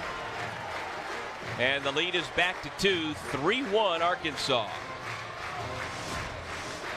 Watch Shaddy deliver this down in the zone, a breaking ball. He easily reaches out for that and delivers over left center field.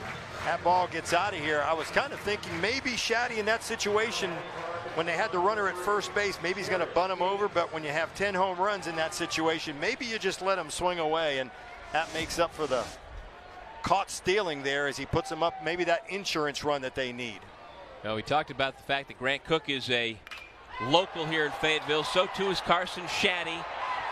That ball blistered off the wall and right by Jared Gates, digging for second, in safely with a double.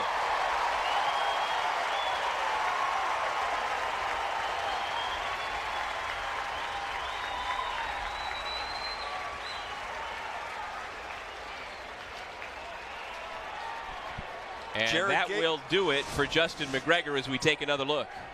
As you see Jared Gates here, just five doubles on the year. This one off the wall. It's his decision here. It's right in front of him. He decides to get to second base. He gets about halfway there and says, uh-oh, I may be in trouble here. I got to turn it on and somehow get in there. But picks up another double for him, and we're going to have a change on the mound. With a pitching change, we'll step away from Baum Stadium here in Fayetteville. Razorbacks have their hitting shoes on here in the bottom of the sixth. You are watching the 2018 NCAA Baseball Regionals presented by Capital One. On a beautiful afternoon here in Fayetteville, Arkansas, Doug Sherman along with former Dodgers minor leaguer John Gregory.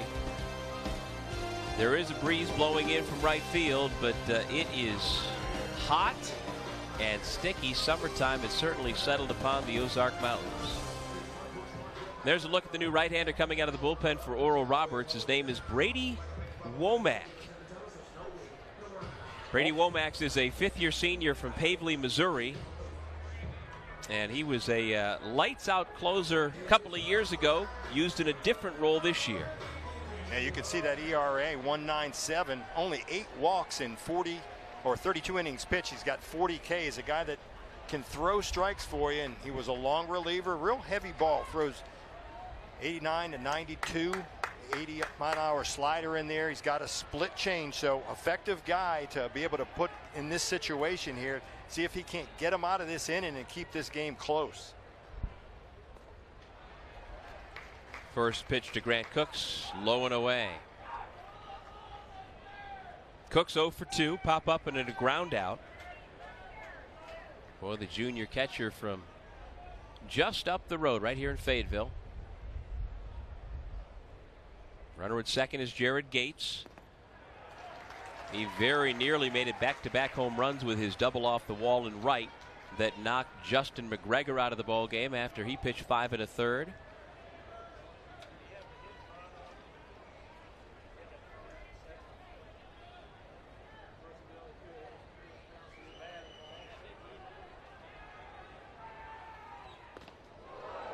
Fastball up and in. 88 miles an hour on the gun. And it's three balls and no strikes.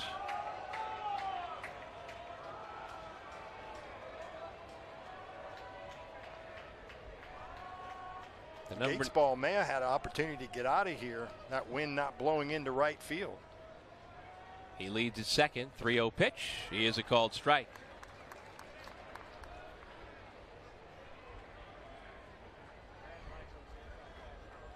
Womack's another one of the uh, junior college transfers. Spent a couple of seasons at uh, Jefferson Community College in Missouri.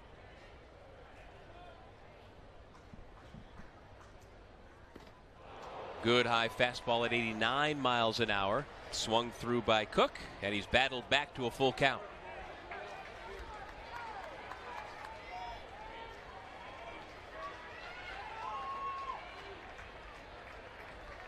Three runs on six hits, no errors for Arkansas. One, two, and zero for Oral Roberts.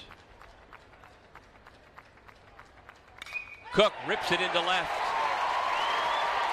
They'll try to score the runner. Gates beats the throw. 4 1 Arkansas.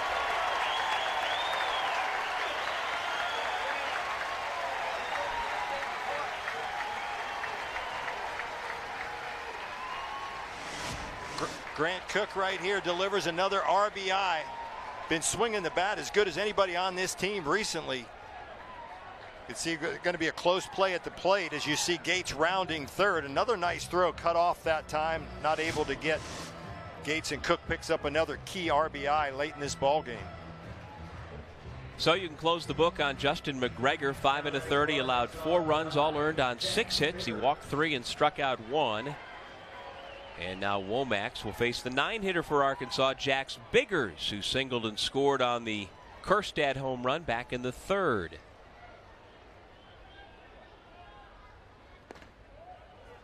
Strike one. Jax Biggers is a junior out of Ridgepoint High School, Missouri City, Texas. Named to the All Greater Houston team coming out of high school.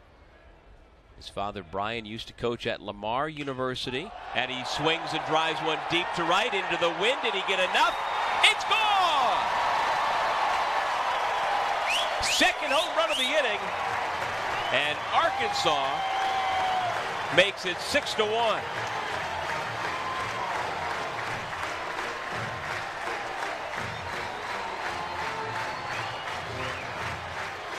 Well, we mentioned the finger that Biggers had, the fracture at the tip of it. We said it really didn't bother him at the plate.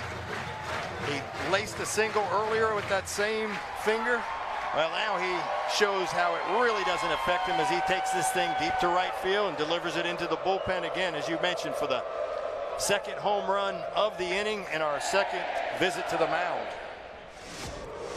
And it's been the bottom of the order here in the sixth inning doing all the damage. Short outing for Brady Womax, who exits to woo Pig Sooie.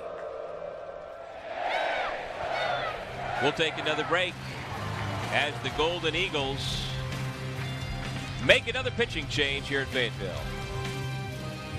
Heston Kjerstad got it started in the third and then in the fifth inning. Oral Roberts got one of the runs back, a solo shot by Riley Kaiser, but here in the sixth, it has been all Razorbacks. Carson Shaddy hit a solo home run. Jax Biggers has just lifted a two-run blast that has prompted another pitching change by the Golden Eagles. And so left-hander Colton Larkins will come into the ball game and take his chances with this potent Arkansas lineup. Colton Larkins, the guy, 23 appearances on the year. You could see that 35 Ks in 31 innings. And Larkins, a little different look, of course, being from the left side, 85 to 88. He'll kind of drop down to the side a little bit, little sink on that with a sweeping slider. So we'll see how the lefty can fare against this lineup that's gotten on fire here recently. Eric Cole takes a pitch. That's a called strike. So no batters have been retired this half inning. The only out came on a caught stealing. Dominic Fletcher led off the inning with a walk. He was caught stealing, but since that time, a homer, a double, a single, and another home run has opened up a 6 1 lead for the Razorbacks.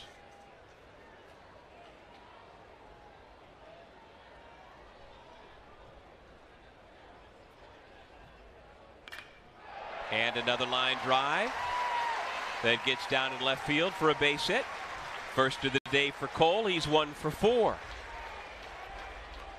So far, this Razorback offense has been able to get to the bullpen of Oral Roberts quickly, and that was one of the things that Wes Davis and Ryan Folmar, coaching staff for Oral Roberts, thought that they had an advantage, or one of the things they have an advantage on. They've got three guys in the pen that have been really good this year, and right now, this Razorbacks offense is turning the ball around on them. That's a ball to Casey Martin. He's been on base twice with a double and a hit hit by pitch.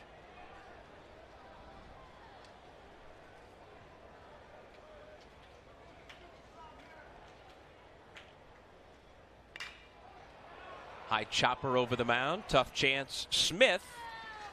And he gets the out at first. Two men away.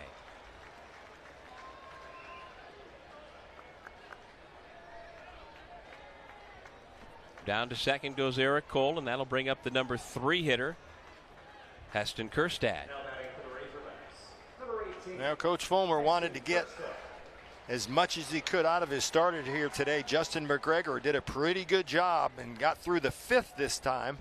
Last year it was through the fourth, got him to the fifth, and finally Arkansas has been able to put four up here to get to them and get to the bullpen.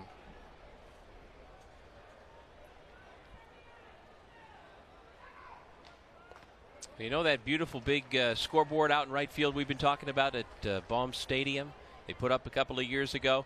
Pretty imposing out there, but the man at home plate has cleared that. Against Louisiana Monroe earlier this year, a 430 foot home run.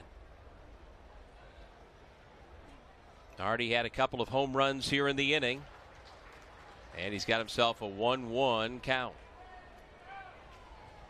Kjerstad's 12th of the year came back in the third.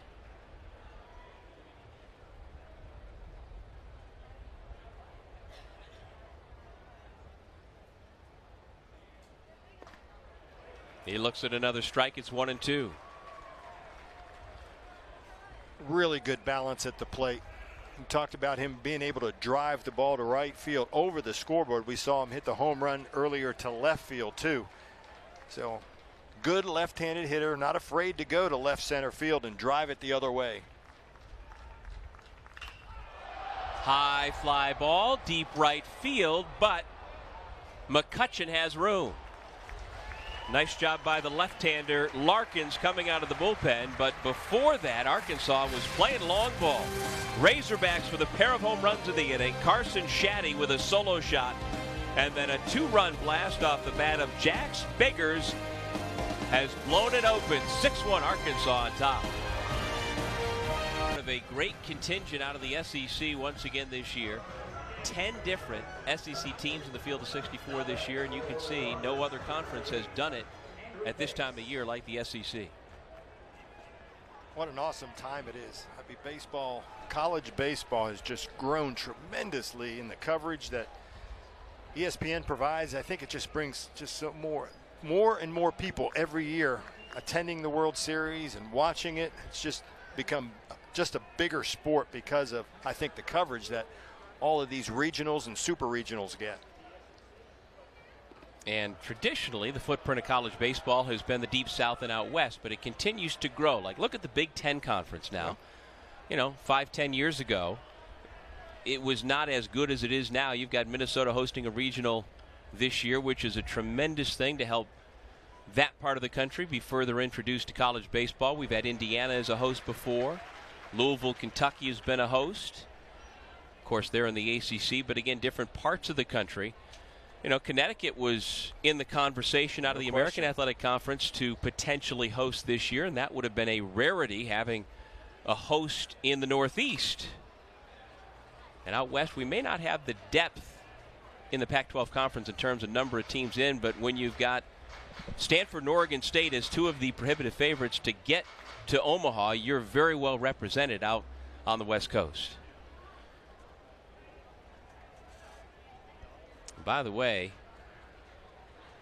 in that Minneapolis regional right now, John, Gonzaga is leading UCLA in the ninth inning 5 to 2. So the Zags could be uh, knocking off the Bruins in the Twin Cities. First out here in the top of the seventh inning as the right-hander Blaine Knight continues to cruise for Arkansas. Cruise, that's 19, 23 batters he's faced. He's got 19 out, so just over the minimum there. Been very efficient, just 77 pitches. We've said that before. Through six and a third now. Doesn't get much better than that. He gave up a bunt single in the second inning to the man at the plate right now, Nick Ritola, and then a home run to Riley Kaiser on the first pitch he threw in the fifth inning. And other than that, he has been extremely stingy. Knight has walked one. He has hit a batter. Just a couple of strikeouts traditional wind and pitch, and there's that slow curveball that really is his fourth pitch, but he gets it over for a called strike. And it's a really good pitch off of that cutter that he threw before that. He'll throw the fastball we said before up there in the mid 90s, and that cutter gives him something around 86 to 88, and then he comes back with that slow breaking ball. Really keeps you off balance. There's that fastball at 93 miles an hour, fought off nicely by Ritola.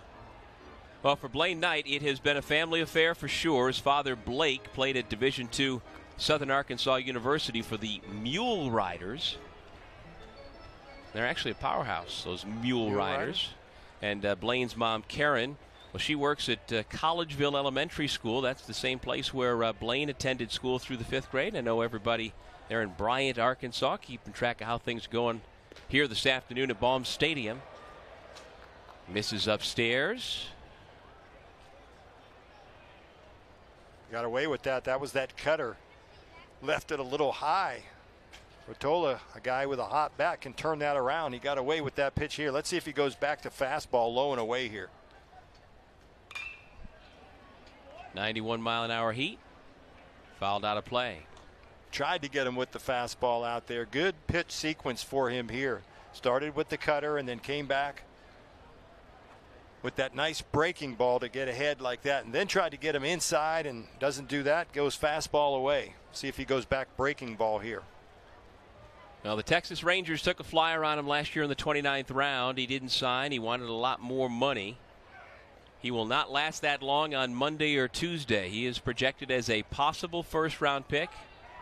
And Blaine Knight almost assuredly will turn professional once the season is done here at Arkansas. He's had a fabulous career, a perfect season as a junior. 10 0 is his record, ERA under 3. And he's pitched brilliantly here this afternoon in the heat in Fayetteville. Yeah, one of the things I said at the very top of this thing, he's been perfect all year as far as record goes. He didn't need to have a perfect outing here today, but 19 of 23 batters faced that he's retired, so he's almost been perfect.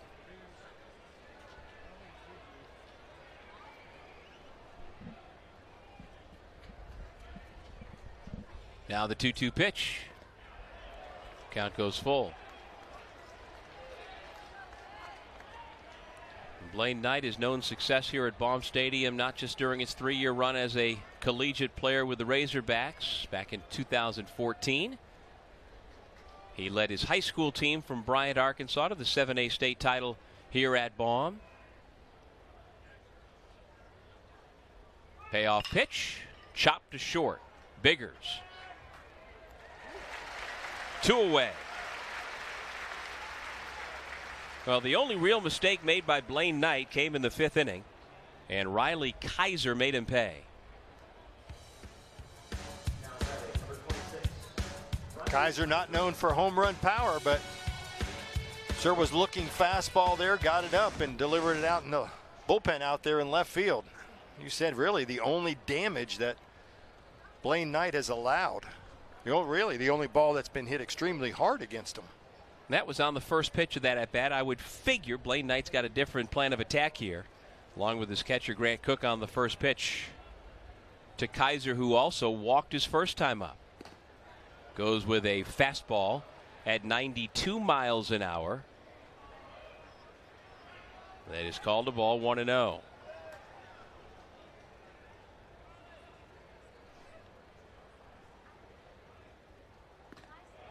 Breaking ball misses inside. This is the first of our two games here in Fayetteville, Arkansas today. Our nightcap will pit the two and the three seed against each other. Will be Southern Miss against Dallas Baptist, and you can see every one of those pitches on the ESPN app. So glad you're with us here today to see Arkansas and Oral Roberts. 93 mile an hour fastball called strike one.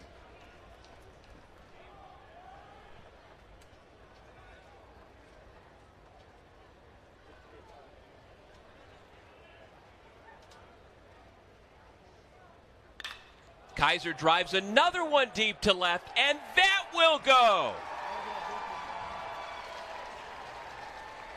Riley Kaiser is Blaine Knight's kryptonite here this afternoon. Well, three home runs coming into the ball game. Two today. Really an unexpected out of that number seven hole, and he just delivers again out there and really trying to keep his team in there single-handed as he hits this out of there. Almost looked identical to the first one. Just went a little bit more toward center field there as he really got a hold of that one too.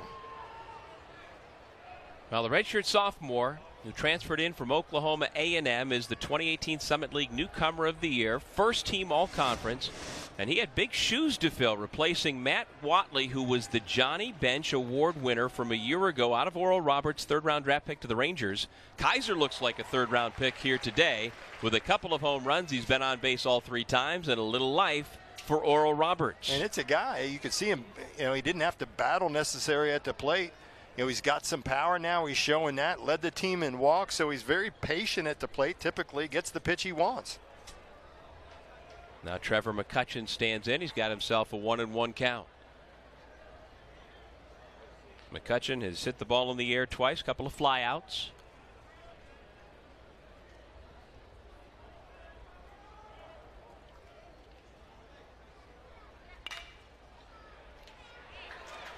Shaddy gobbles up the grounder and gets the out. One run on the solo homer by Kaiser. 6 2 Arkansas here in Fayetteville. With runners in scoring position. And here is Dominic Fletcher looking for his first hit on the afternoon, 0 for 2 with a walk. Of course, we're in Arkansas, and so that means Walmart is uh, the big employer around here. And that bunt will go foul. As you and I got our assignments Monday afternoon, we were coming here to Fayetteville. Of course, the immediate press is to get yourself your travel arrangements to get here with the idea that, well, we'll be able to get a hotel. It's not going to be a problem. How much action can be going on in Fayetteville this time of year? But we uh, come to find out that uh, the Walmart shareholders or stockholders meetings are going on all week here in uh, Northwest Arkansas. So there are no hotel rooms to be had. No, hence driving down the road, you pass up about 10, 15 hotels. You're about 20, 30 minutes away. Dominic Fletcher drops one into right center field. Stopping at second is Bonfield. He had to wait to see if Ritola out in center field was going to have a play on it. Back to back singles against Colton Larkins to begin the bottom of the seventh. You're right. Bonfield probably could have made it to third on that play, but he had to hold up as that ball actually looked like Ritola was going to come down with it. You could see him kind of just taking his time loafing there, not sure. Normally you'll see a guy kind of raise his hand up even if he can't get there to kind of deke the runner or decoy the runner, but no need. Bonfield taking his time. Station to station right now. No sense in doing anything crazy with no outs.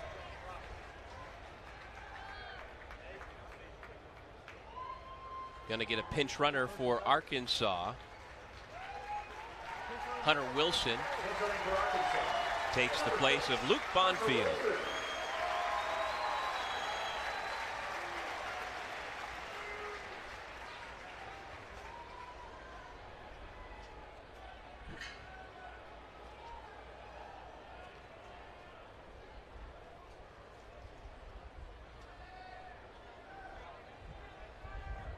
Carson Shaddy showing bunt. Lays it down. Foul. Fielded by Hernandez. Strike one to Shaddy. Last time up, Shaddy was up. Actually had the opportunity to lay down a bunt runner on first. There were no outs. I thought they were maybe going to try to get an insurance run. They elected to steal second base, was thrown out. Then he promptly hits a home run after that. This situation here, six to two lead. Now that we're in the seventh inning, a couple more runs important. They're going to try to move them over here with no outs.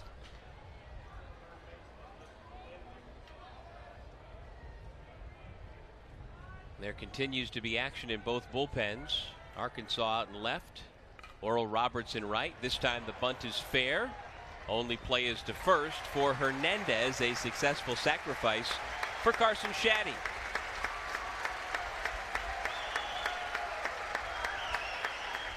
And the fans give him a little applause there. Just that's his fourth sacrifice bunt. They haven't asked him to do it a whole lot this year, but we're in regional time, and it's important for them to get the runners in scoring position. Now you've got Fletcher at second and second base, and Wilson down at third that can score on a base hit. And now the infield comes in for the left-handed batting Jared Gates against the left-handed pitching Colton Larkins.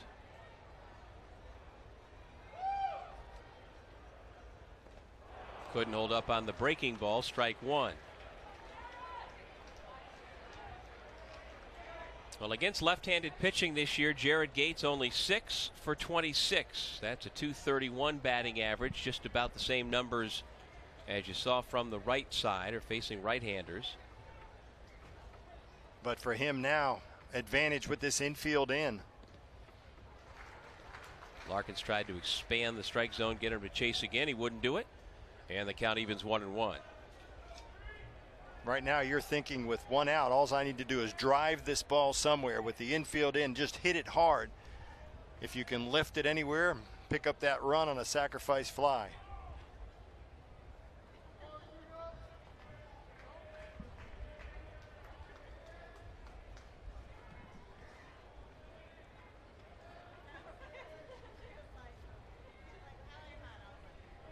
Round the infield, Hernandez the defender at third, Smith at short, Rourke at second, Henson at first.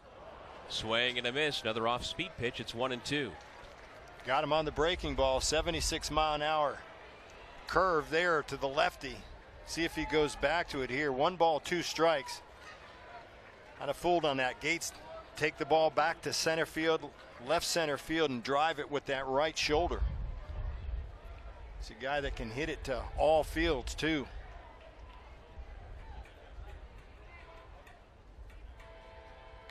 Off speed again, fouled at the plate. Count holds one and two.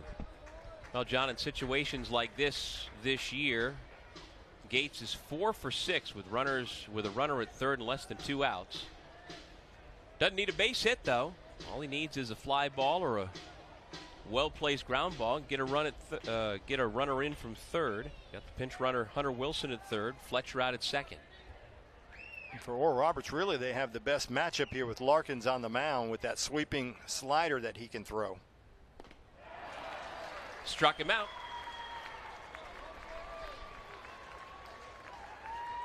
Two men away. The ESPN networks bring you every game on the road to Omaha, starting with regional coverage today on ESPN2, ESPNU, the SEC network, the Longhorn network, and ESPN3. Whip around coverage is also available through ESPN3 and the Bases Loaded channel, and all coverage is available on the ESPN app. You know, if you want to tune in, use the Bases Loaded app as a companion service on your tablet or computers in addition to watching other games on television. You keep track of everything all around the country. As we have another pitching change here in Fayetteville. Not a bad job turned in by Colton Larkins, who escaped trouble in the sixth, but he leaves two runners aboard with two outs here in the seventh. Arkansas up by four.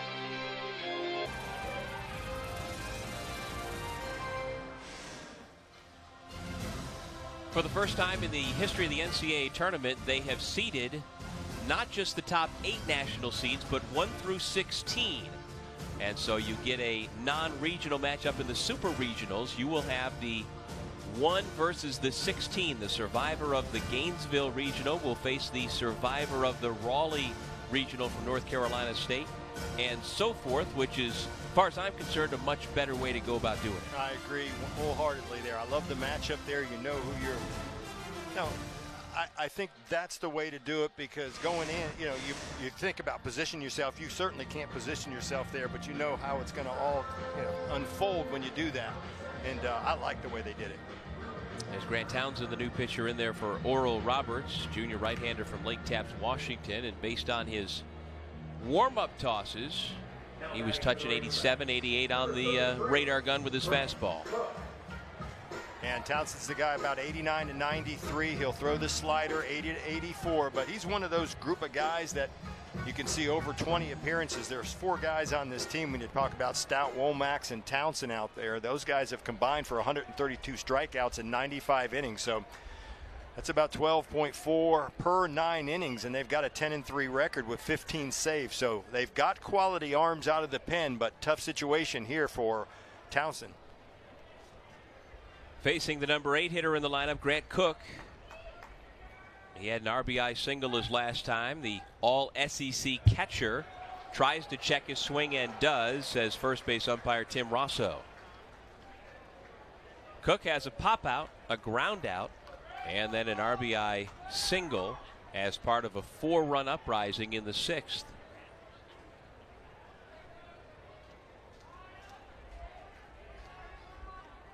The runner at third is Wilson. He came on as a pinch runner for Bonfield. Breaking ball for a called strike. It's one and one.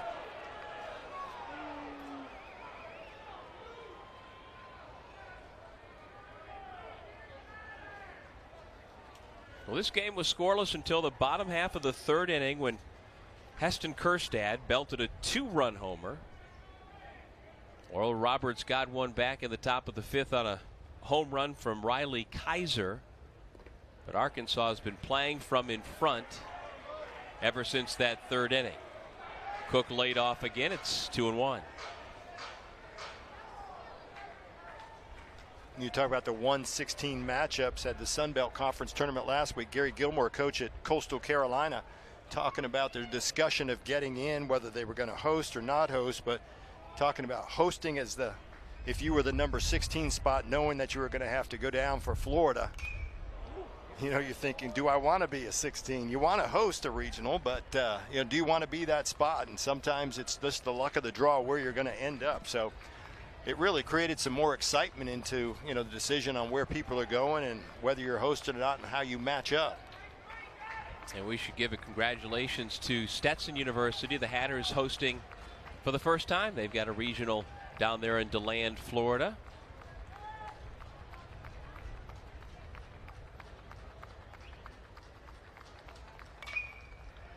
Bouncing ball, fair. Hernandez tries to make the tag, can't do it. A run scores on the tremendous base running by Dominic Fletcher.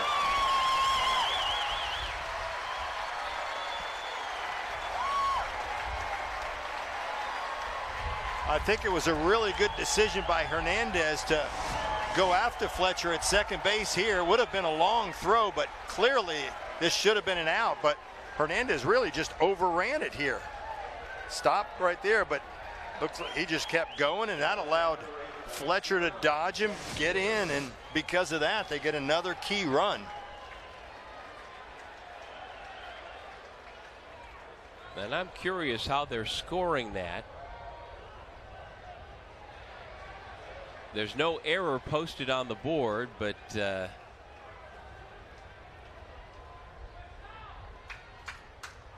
it's a fielder's choice.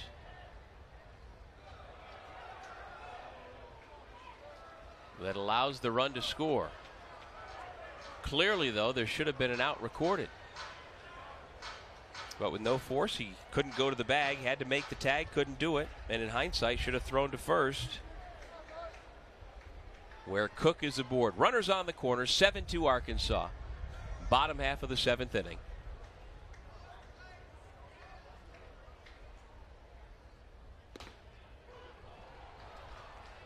Jax Biggers, who has had a big ball game, takes a strike. It's one and one. Biggers singled and scored in the third, and then hit a two-run homer last inning. That at the time made the score six to one Arkansas. Townsend's pitch fouled. It's a ball and two strikes.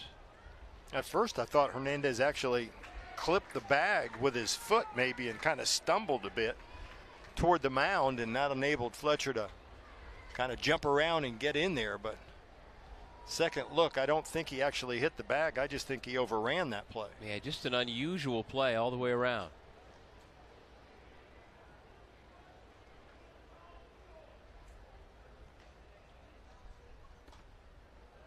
Delayed steal. Throw goes to third. Well, after we talked about the great base running by Fletcher, we almost had to talk about the bad base running, and now he looks to be hurt. Was able to get back to the base safely, but uh, it may have been costly holding that right hand. You see Nate Thompson, third base coach, looking down on him right now, not feeling sorry for him, saying, got to be aware that that throw is coming back. Good delayed steal. Glad to see he's okay.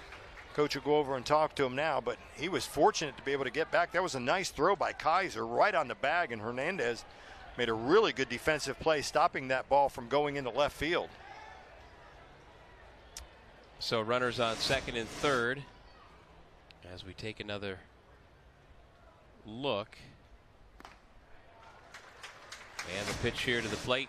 Biggers takes high and outside, two balls and two strikes. Fletcher was really fooled on that pump fake by Kaiser. Go back to that play. Hernandez really just saved a run there because that ball goes into left field. Fletcher's walking toward home plate.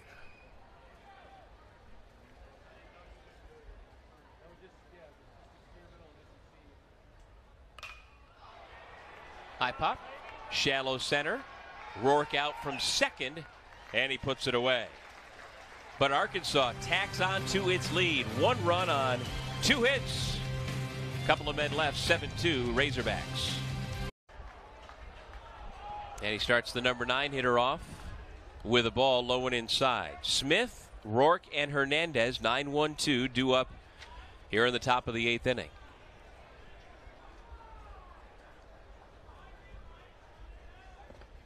As the late afternoon shadows begin to creep towards the home plate area.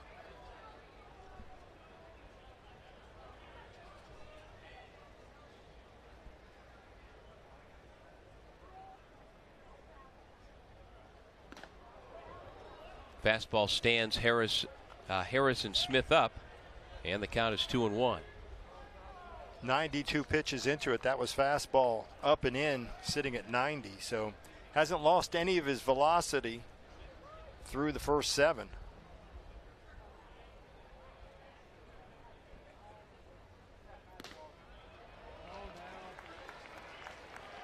Three balls and a strike.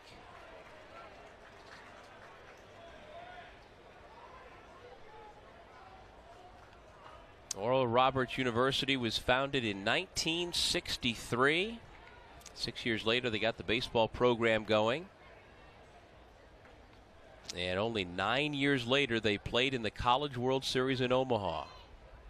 Oral Roberts beat North Carolina in their first game back in 78, some 40 years ago. Pop up near home plate. Koch calls for it, and the catcher puts it away. Knight fastball inside. Arm side, good movement on that. That's got that tail into the right-handed hitter. Very tough hit pitch to hit there. Great location.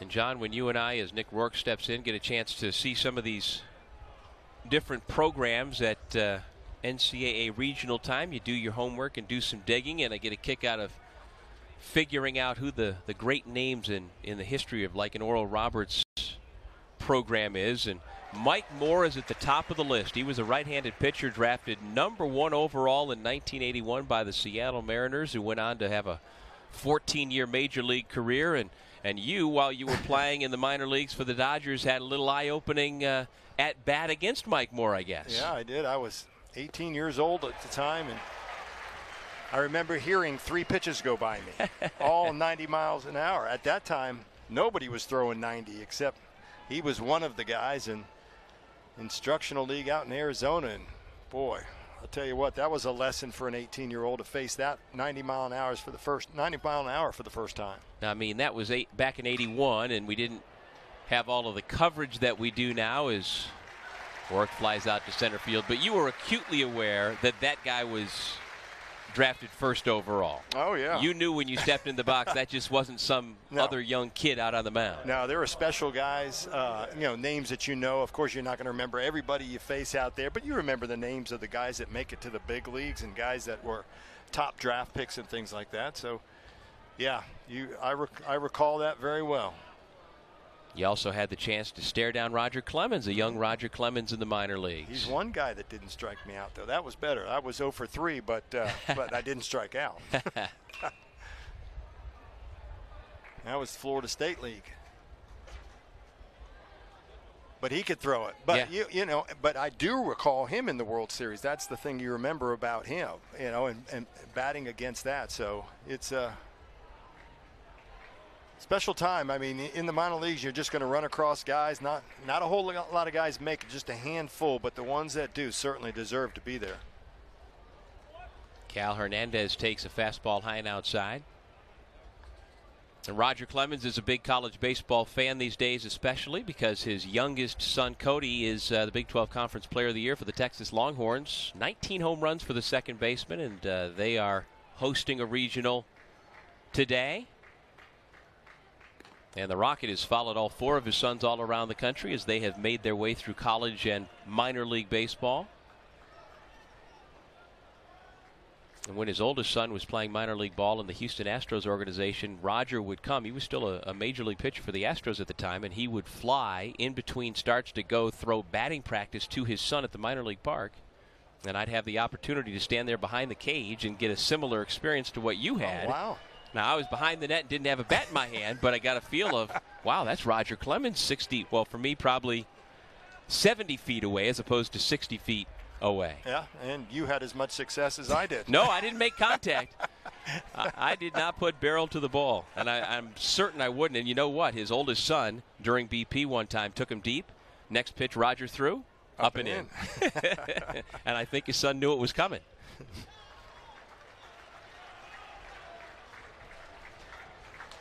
So would that be his bullpen day that he threw? I mean, was yeah. Of, in his last contract with the Astros, you know, they were happy to make any accommodations mm-hmm. he had, and you know, at that point, he had already won a half a dozen Cy Young awards, and okay, Roger, do what you got to do, and just be ready in five days. So he and his wife would fly up to Troy, New York. He'd get a little workout in with the kids, buzz his son with a fastball under the chin, and head back down to Houston and face the Cincinnati Reds the next day or something. 3 1 pitch. Fought off by Hernandez. And it's a routine fly in left. Quick and tidy, one, two, three inning for Blaine Knight. He has been in control through eight. Arkansas seven, Oral Roberts two in this opening game of the Fayetteville Regional as we head to the bottom half of the eighth inning. With John Gregory, I'm Doug Sherman. There's a look at the uh, comparison. Oral Roberts has gotten its two runs on a pair of solo home runs off the bat of Riley Kaiser. Arkansas, meanwhile, has played long ball as well, and good production up and down the lineup, and tremendous pitching out of their all SEC right hander Blaine Knight. Bottom of the eighth, we'll have the top of the order Cole Martin and Kjerstad for the Hogs. And I doubt we'll see Blaine Knight come out for the ninth inning. Just the reaction of the players as they greeted him after that eighth inning and they've got action in the bullpen. So I doubt we'll see Blaine Knight again. But if we do, that'll be the first time that he's gone nine innings. That was the first time that he completed eight all year. So 104 pitches into the day, that may be it for him. Swing and a miss by Eric Cole. Facing Grant Townsend, in the fourth pitcher of the afternoon for the Golden Eagles. As we keep a track of the NCAA baseball tournament, Jeremy Mills from ESPN Statistics does a terrific job of keeping all of us apprised of what is happening around the country. Lets us know that the Big 12 Conference is off to a 3 0 start with Oklahoma and Oklahoma State both picking up wins in seed upsets, while Texas Tech won at home. And so the Big 12 Conference has five teams in the field of 64, and they are off to a 3 0 start. I mean, there's no question the SEC comes in with the most teams and, and having had the best season. But uh, the Big 12 is number two in RPI. The Pac 12 has got a lot of top heavy teams that could really do some damage for sure. The American Athletic Conference as well. And of course, the ACC, as always, has a lot of dangerous teams that could work their way to uh, to Omaha. ACC has six teams in, SEC 10. And then the American, the Big Ten, and the Pac 12 all have four teams in the field. The American, meanwhile, is off to a bad start 0 2 so far today.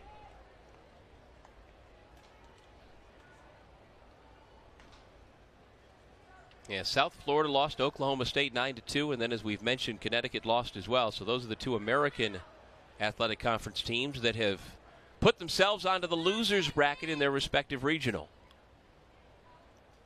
Casey Martin takes it low and outside, ball one.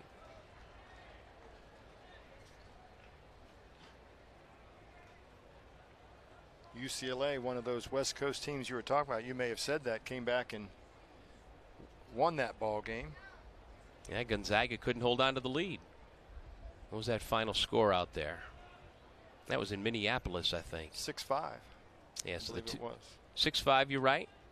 Four runs in the bottom of the ninth inning for a walk-off win for the Bruins.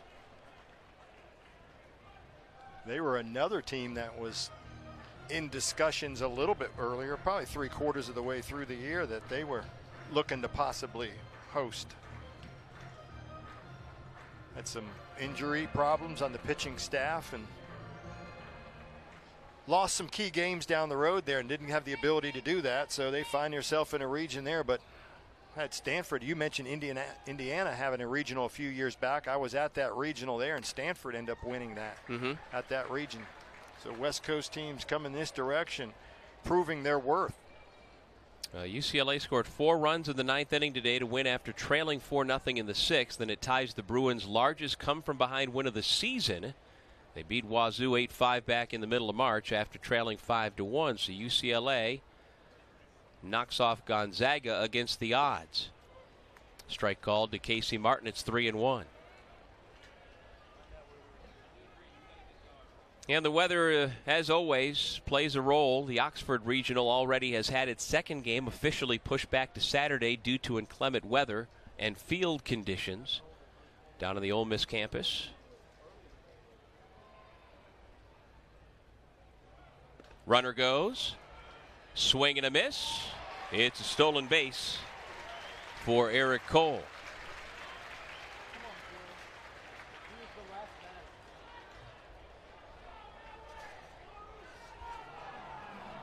And now, head coach Dave Van Horn coming out to question home plate umpire Joe Burleson, who says that was strike three.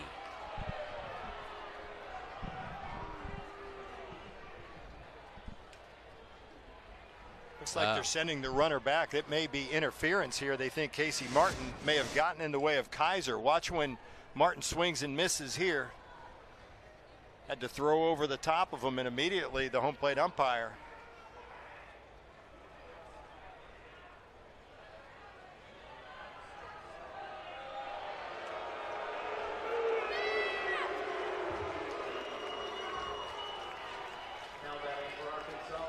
see him right there saying interference. They send a runner back to first base, so Eric Cole back on the first base bag. So Martin down on strikes. Cole back at first with one out. And Heston Kjerstad, who homered in the third, stands in.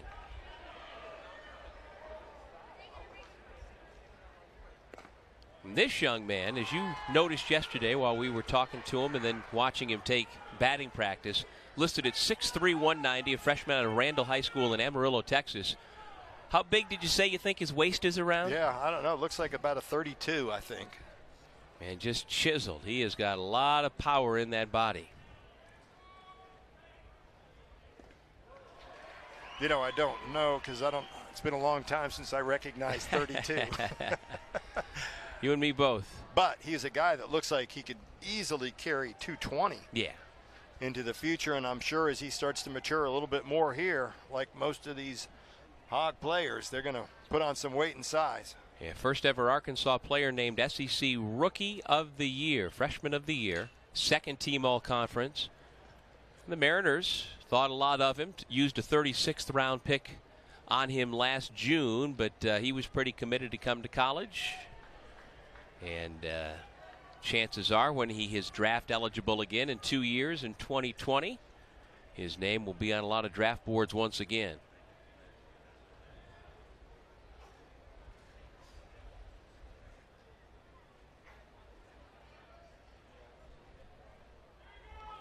0 2 pitch misses outside, 1 and 2.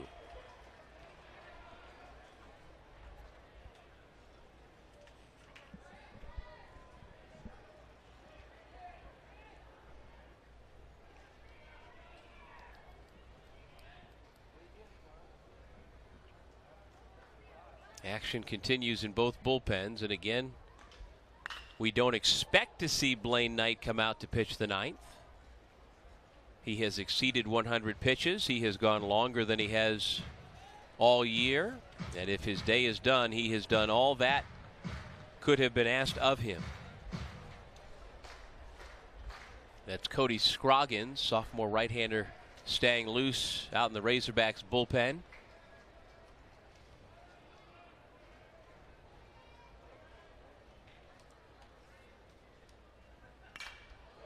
High fly lifted deep to left field. That could go and is gone. Opposite field power once again. Heston Kjerstad with his 13th of the year, second of the day.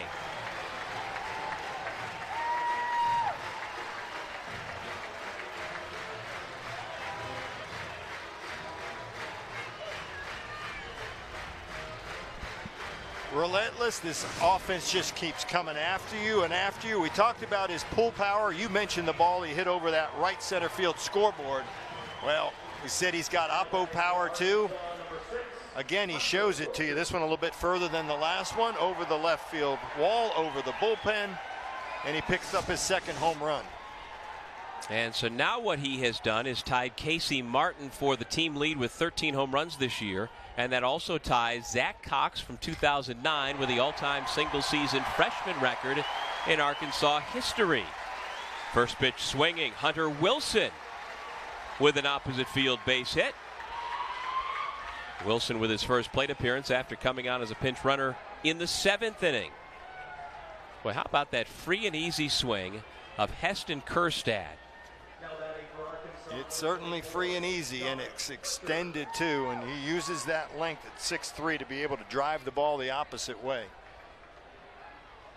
You know, I like Hunter Wilson down at first base. Just got that base knock, came in there to pinch run. I noticed him yesterday. Would you ask these players? He's kind of a leader, you know, one of those mutters for you. He was given uh, down, down, at the third base bag, he was he was really giving Martin a hard time during warm-ups or practice. Uh-huh. He was the long throw over to first base. He was telling Martin, "You can't do what I can do." He's just that motivational type guy.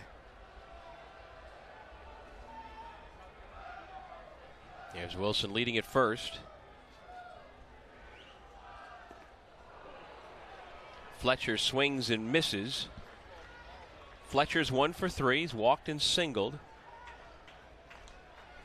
Nine runs on 13 hits for this potent Arkansas offense that has put up some of the biggest numbers in the entire country all year.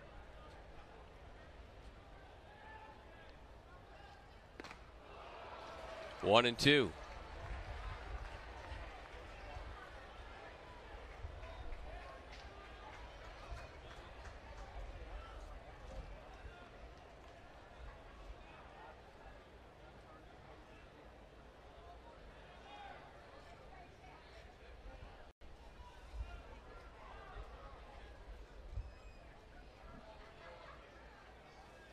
Townsend comes set, and the one two pitch.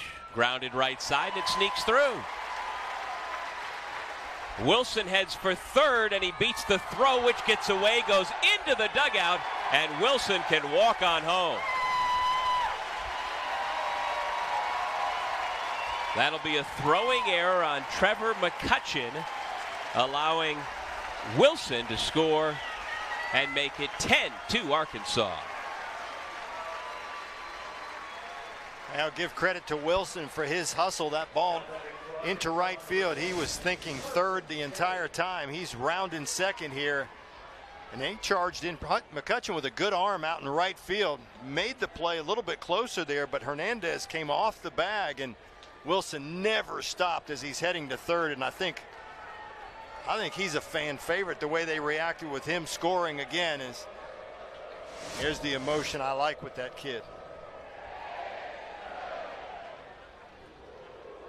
And we'll have another pitching change as the lead grows to eight for Arkansas.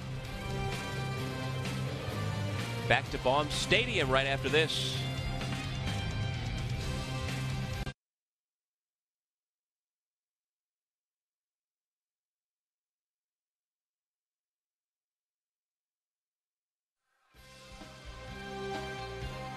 Are watching the 2018 NCAA Baseball Regionals presented by Capital One. Logan Michaels becomes the fifth pitcher of the ball game for Oral Roberts University. The right-hander comes in with his club trailing 10 to 2. Now Michael's one of those guys just trying to finish this thing out right now for Oral Roberts. The lead on the board 10-2. They just want to kind of get through this inning here, try to save as many pitches as possible and come back tomorrow and see if they can't fight their way through, assuming that they're not going to put any runs on the board or enough in the ninth to send this thing to extra innings. Well, the uh, task has been a difficult one as Carson Shaddy comes to the plate. He has one of four Arkansas home runs today. This is the third most prolific home run hitting team in the country. So you give them four today in what they call the Bomb Squad, B A U M, here at Baum Stadium. Arkansas now has 88 home runs on the year, third only to Tennessee Tech and Clemson coming into play today. And the first pitch doesn't even come close. It drills Shaddy between the two and the zero on his back.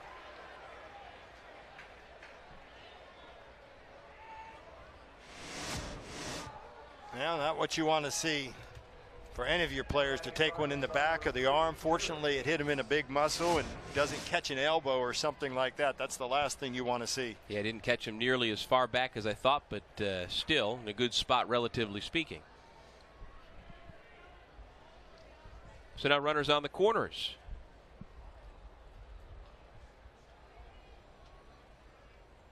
Last year, Arkansas led the SEC with 83 home runs.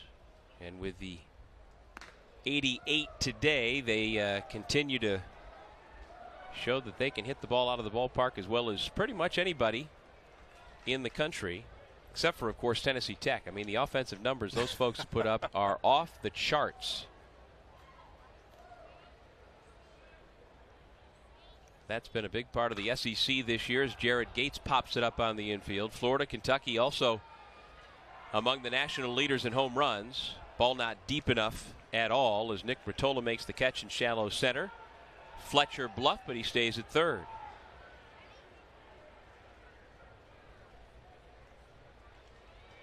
Ritola came in there. I'm not sure if he didn't think there was three outs there. He actually looked like he take, took a step or two toward the first base dugout. Wait a minute, got to get back here and get the third out. Did you catch the end of regulation in last night's first game of the NBA Finals? I did. Where J.R. Smith yes. lost track of time and score, even though he lied about it in the post-game press conference. we could all read his lips to saying yeah. what he really thought.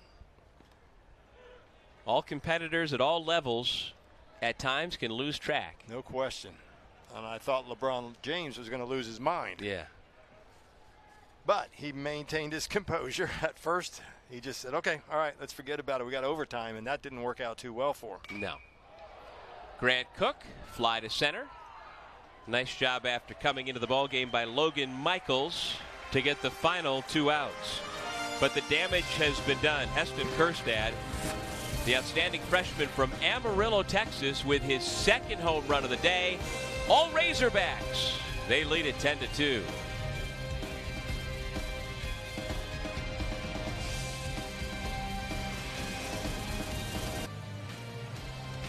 Lots to cheer about for the fans in Arkansas colors. 10 to the scores. We head to the top of the ninth inning in this first game of our Fayetteville Regional, and the work is done this afternoon for Blaine Knight. Except for a couple of solo home runs given up, he was outstanding, John. He's just a tremendous afternoon for him. Eight innings that he pitched in that, you know, he just faced 29 batters, got the 24 out, so just five over the minimum for him, and that was an efficient day for him, and you could see those numbers ties a career high with those eight innings. Just two Ks on the day, but uh, nobody really hit the ball hard beside those two home runs, two solo home runs. It really didn't cost him a whole lot, and you can see the smile on his face, happy that his day is over. And so Cody Scroggins will come into the game. Redshirt sophomore right-hander who came back from Tommy John surgery in 2017 to full health this spring as he has transitioned from being recruited as an infielder to now being a pitcher, giving an opportunity to pitch in a regional and try and close out a victory. And a good opportunity for him to be able to do that and very comfortable with a 10 to 2 lead. So he just wants to go in here, throw strikes, and uh, let his defense play behind him and see if they can't wrap this thing up and get some rest for the next day.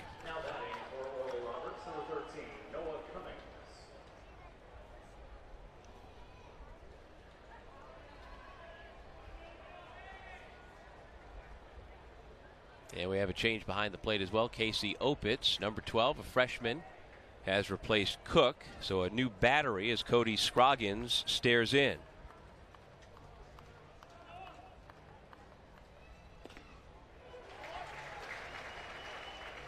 Heart of the order due up here for Oral Roberts. Three, four, and five. Cummings, Henson, and Pace.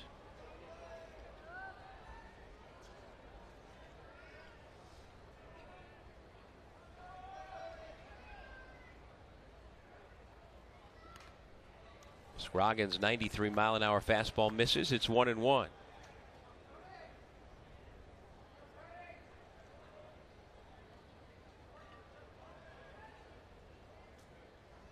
Scroggins' last appearance came on May 18th in Athens at number 13 Georgia. Pitched an inning, gave up a couple of earned runs, walked a couple of batters.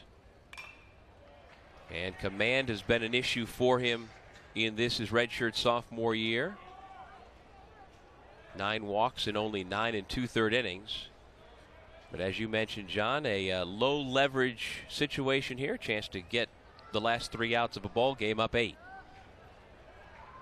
Good strikeout numbers for him. So he's got the ability. I'm talking 93, 94 miles an hour. So just throw strikes.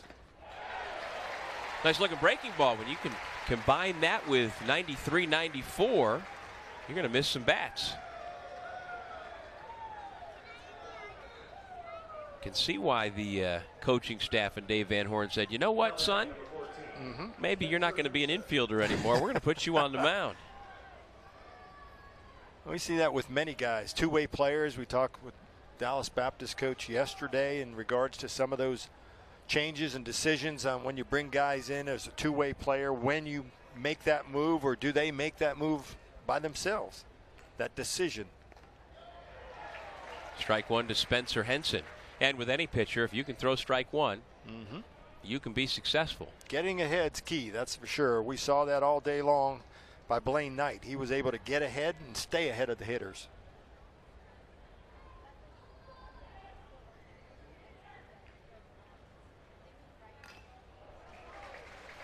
Yeah, Blaine Knight's final line eight innings, three hits, two runs, both earned, both on the solo home runs, one walk, and one strikeout.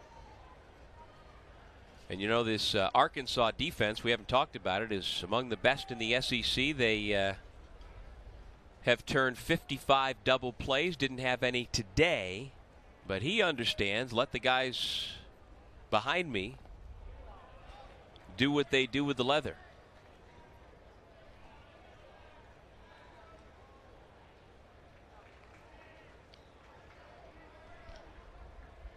There's a young right hander.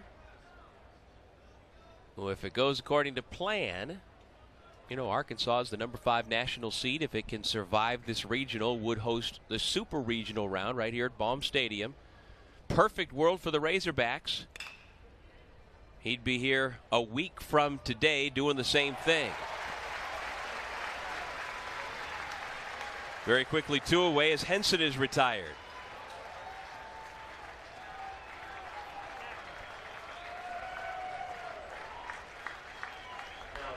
And that'll bring up Andrew Pace. 0 for 2, reached on a hit by pitch back in the fourth inning.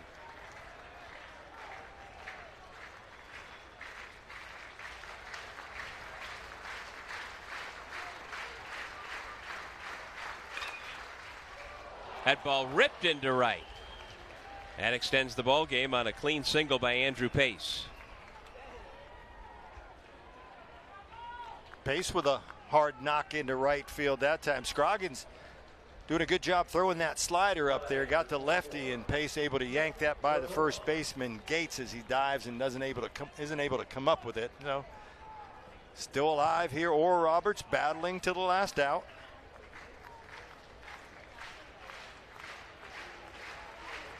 Ritola stands in. He had a bunt single in the second.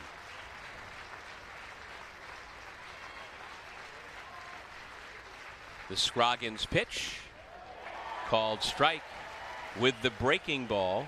It's nothing in one.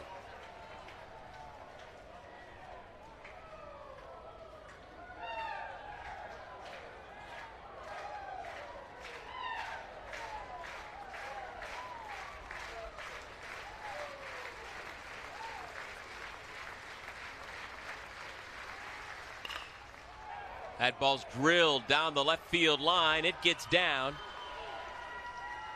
And Oral Roberts has runners on second and third on the double by Nick Ritola.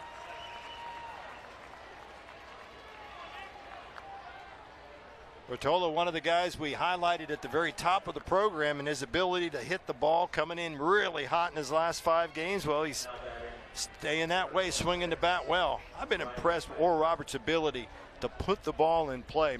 As we said, Knight on the mound has had a fantastic day.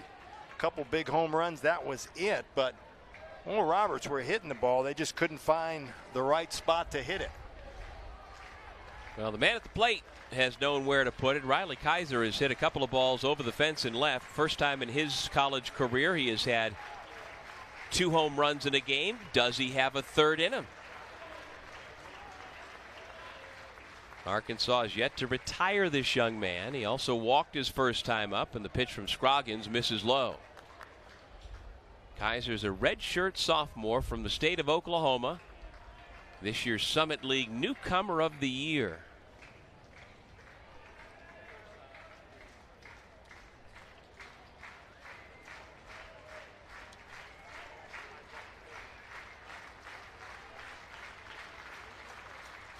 Breaking ball.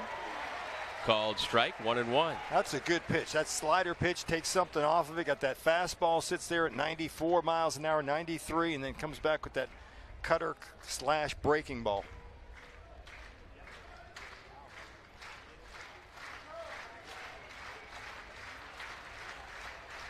Runner at third is Pace. Out at second, Ritola, the 1 1. Gets away from the catcher for a moment. Opitz able to retrieve it.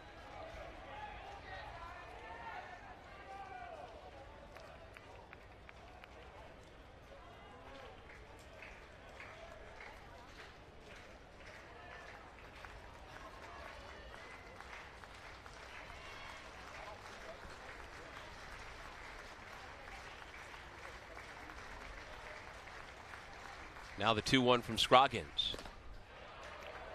Misses up. Three balls and a strike. No activity in the Razorbacks bullpen. And you know Dave Van Horn wants Scroggins in the worst sort of way to close this thing out and not have to use anybody else out of that pen.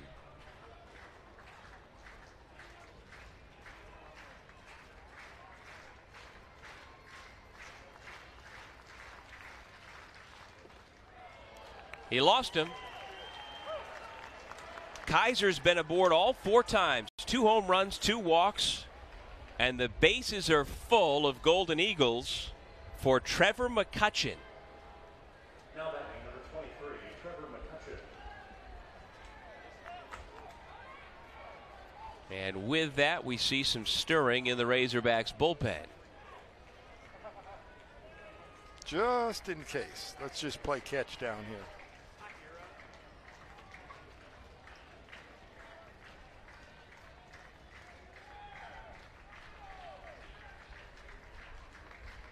McCutcheon 0 for 3. Takes a called strike. Jake Reindl, the junior from right here in Fayetteville, just getting loose out in the bullpen. They still lead by two grand slams. I mean, even if they get a home run here, they're still up four.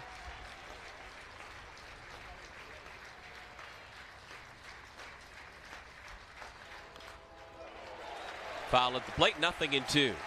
And so once again, the near capacity crowd here at Baum Stadium on its feet looking for this final strike.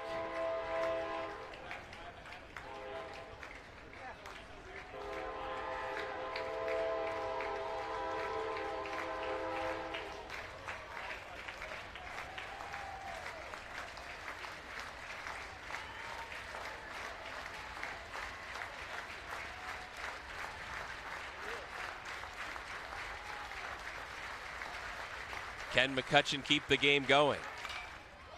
Hot smash fielded by Shaddy. He steps on the bag at second, and that ends the ball game. Arkansas behind the brilliant pitching of its ace right-hander Blaine Knight and the power hitting of freshman Heston Kjerstad knock off Oral Roberts 10 to 2. An impressive outing for Knight as you talked about here and see the 18th win in opening round games and we said 93% of the time you win it you can go on to win the regional and it's a great start for this Arkansas offense and the pitching effort that they got on the mound today.